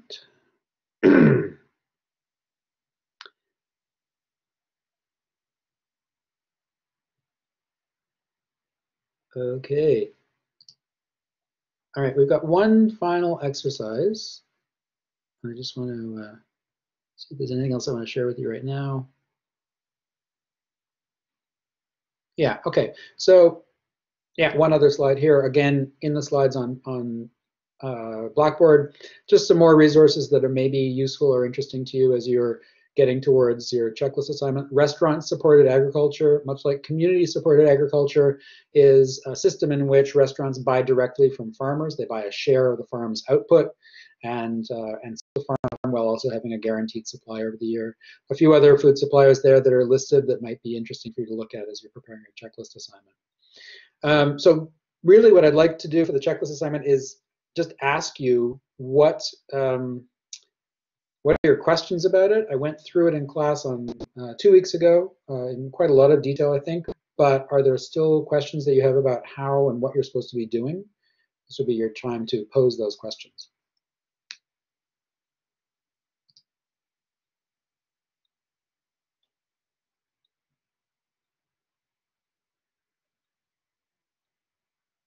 No questions.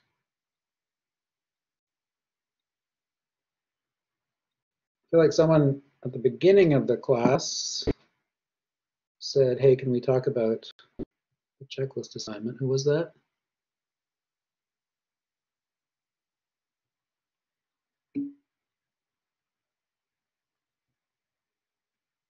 Ah, Pratik, yeah. What, did you have a question that was that I can answer right now?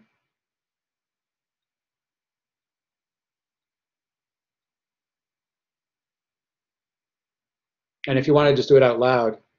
Oh, you missed that class. Ah, okay. Um, why don't you and I chat afterwards? Um, if you go back to the to Blackboard, to the Blackboard Collaborate page, at the top of that is uh, just says course room unlocked. And if you click on that room, I'll be in that room after the class, and you and I can just have a, a conversation about what that uh, assignment is supposed to look like. Does that work? Great. Okay. And of course, anybody else who wants to ask questions about the checklist assignment, just come find me in that shared classroom um, when after we've shut down this class um, and ask any questions you have. You can also, of course, always email me and I'll respond by email. All right. So the very last last thing that we've got to do, surprisingly, this class went longer than the regular class. All right. And this is a bit of a game but it's also an illustration about uh, sharing a common resource. So this is a real chance for you to get bonus points added to your final grade. Um, the challenge, though, is you're going to have to um, trust each other and be fair in your choices. So I'm going to ask you to do is pick the number of bonus points that you want. Do you want zero, two, or six bonus points? Now the obvious answer is six. However, in the rules of this game, if more than 10% of the class chooses 6%, then no one gets any bonus points. In this case, we've got 10 people in the room.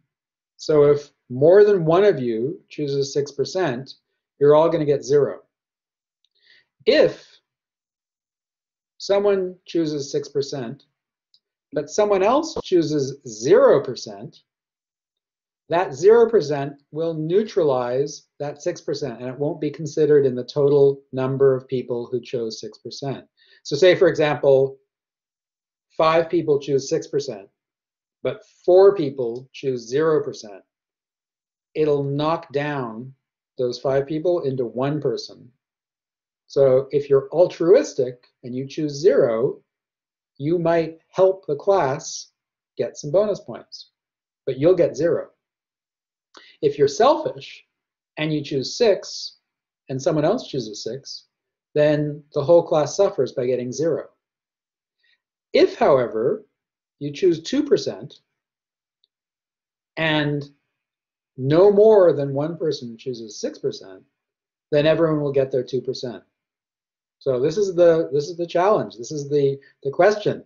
How much do you trust your colleagues to be selfless or selfish? So I'm going to ask you to do right now is pick 0, 2, or 6% and message me privately in the chat which one you want. And I'll give you all the results at the in, in the next class. So uh, don't talk amongst yourselves. Don't talk in the common chat just go into the chat panel and then select my name. So you, uh, no, you can do it. Can you do a direct message? Maybe not. Is that private? Yeah, that looks private. Or is it? Yeah, that was private. Okay, so Bailey, you just figured out how to send me a private message. So everyone send me a private message um, saying whether you want zero, two, or six percent points. And but remember, if everybody picks six, everyone gets zero. In fact, if two people pick six, everyone gets zero. Or you can be strategic and pick zero and hope that you neutralize one of those six percenters. Anyway, anyone have any questions about this?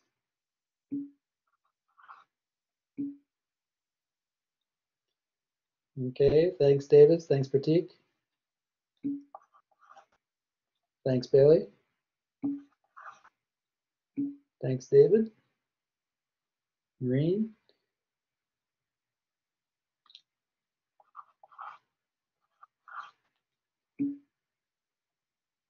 Okay, uh, so I'll explain it again, uh, Miriam. So you're you're basically the, the thing you have to do right now is tell me whether you would like to have zero, two, or six percent bonus points. But the challenge is, um, or the, the problem is, if um, I'm gonna I'm gonna look at what the whole class has chosen, and if more than one of you picks six percent, um, everyone gets zero. If um, someone picks zero and someone else has picked six, that one person who picked zero effectively knocks out the person who picked six. So it brings, it makes it more likely that people will get their bonus points. If you all pick 2%, you'll all get 2%. If one of you wants to risk it and pick 6%, and everyone else picks six, pick six, sorry, everyone else picks two, then everyone gets two, and that one person gets six. However, if two of you think that you can get away with taking more than your fair share, then everyone gets zero. Now, I'm not going to tell who the people are who chose what, so no one will get blamed, but you will know that you were the one who caused everyone in the class to grow, including you. Does that explain it, Miriam? Thanks, Rodolfo.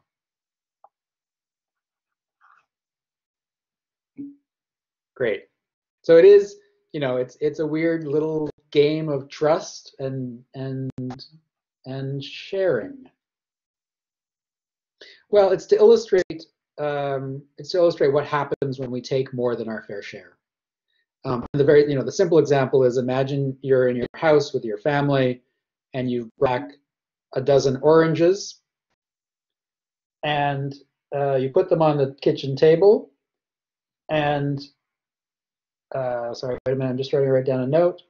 Uh, you put down the bowl of oranges on the kitchen table and they're enough so that everybody can take two.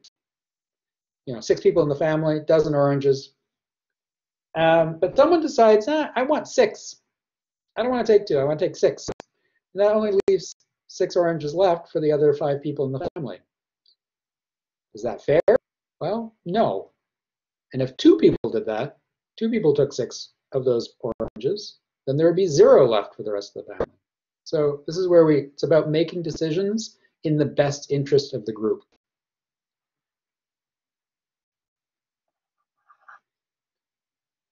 Okay, I think I've got two more people I'm waiting to get a response from. I'm not sure.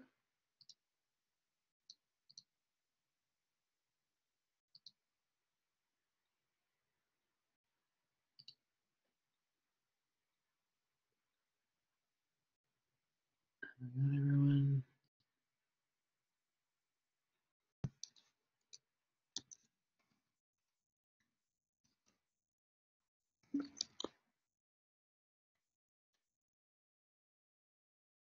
I'm just waiting to find out if everybody's responded. I think I'm missing two people. I can tell you this week, actually. That's not so, won't be hard to do the math. Um,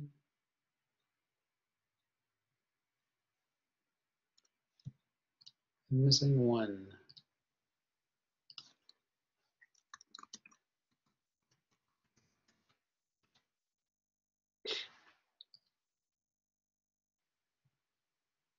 So Jessica, I don't think I have yours yet, and Malika, I don't have yours yet.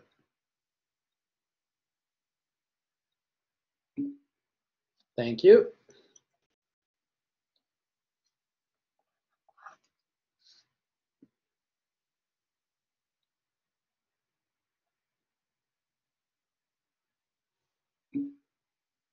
Uh, did you? Can you send it again? Sorry, I don't think I don't seem to have it in my uh, in my chat. Oh, did you email me? Ah, yes. Okay, I have it. I have it in my email. Never mind. All right. So the results are in. Oh, this is very interesting. Um, okay, so this is rare. What's happened, and this is kind of exciting, what's happened is that um, only one person chose six. So it's below the 10%, or it's within 10%. However, that one person, who will remain nameless, um, someone else chose zero. So they knocked out your six, um, which means that the person who chose zero gets zero, but the person who chose six also gets zero because you got knocked out by one altruistic person. Everyone else chose two, so you will all get your two bonus points except for those two people who chose the six and the zero. So in this case, it's a very, very unusual outcome. Almost always, more than 10% of the population chooses six, and then everyone gets zero. But in this case, um, that's been turned on its end. So anyway, thank you for playing. I like this as a result. I'm sorry for the six person, but uh, congratulations to the zero person for uh, making a very clever and strategic play. Um, that's it for now.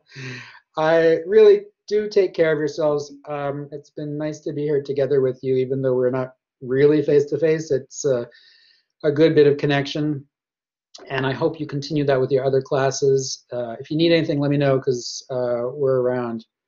Oh, really? Okay. So Davis is saying last year it was uh, different. That's good. So yeah, good work to all of you, and keep it up. Let me know if you have any questions. I'm going to hang out in the other classroom for a little while. That's uh, available on Blackboard Connect. It's called or Blackboard Collaborate. It's called Course Room. So I'll be in there. I'll also be posting the recording of this uh, class uh, on a YouTube video linked to from uh, from somewhere on Blackboard, which I will make an announcement about. Do keep your eyes on the announcements in case things change. And by next week, I'm hoping there will be more information about the exam. And in any case, we'll figure it out from there. Take care of yourselves. See you around. Bye.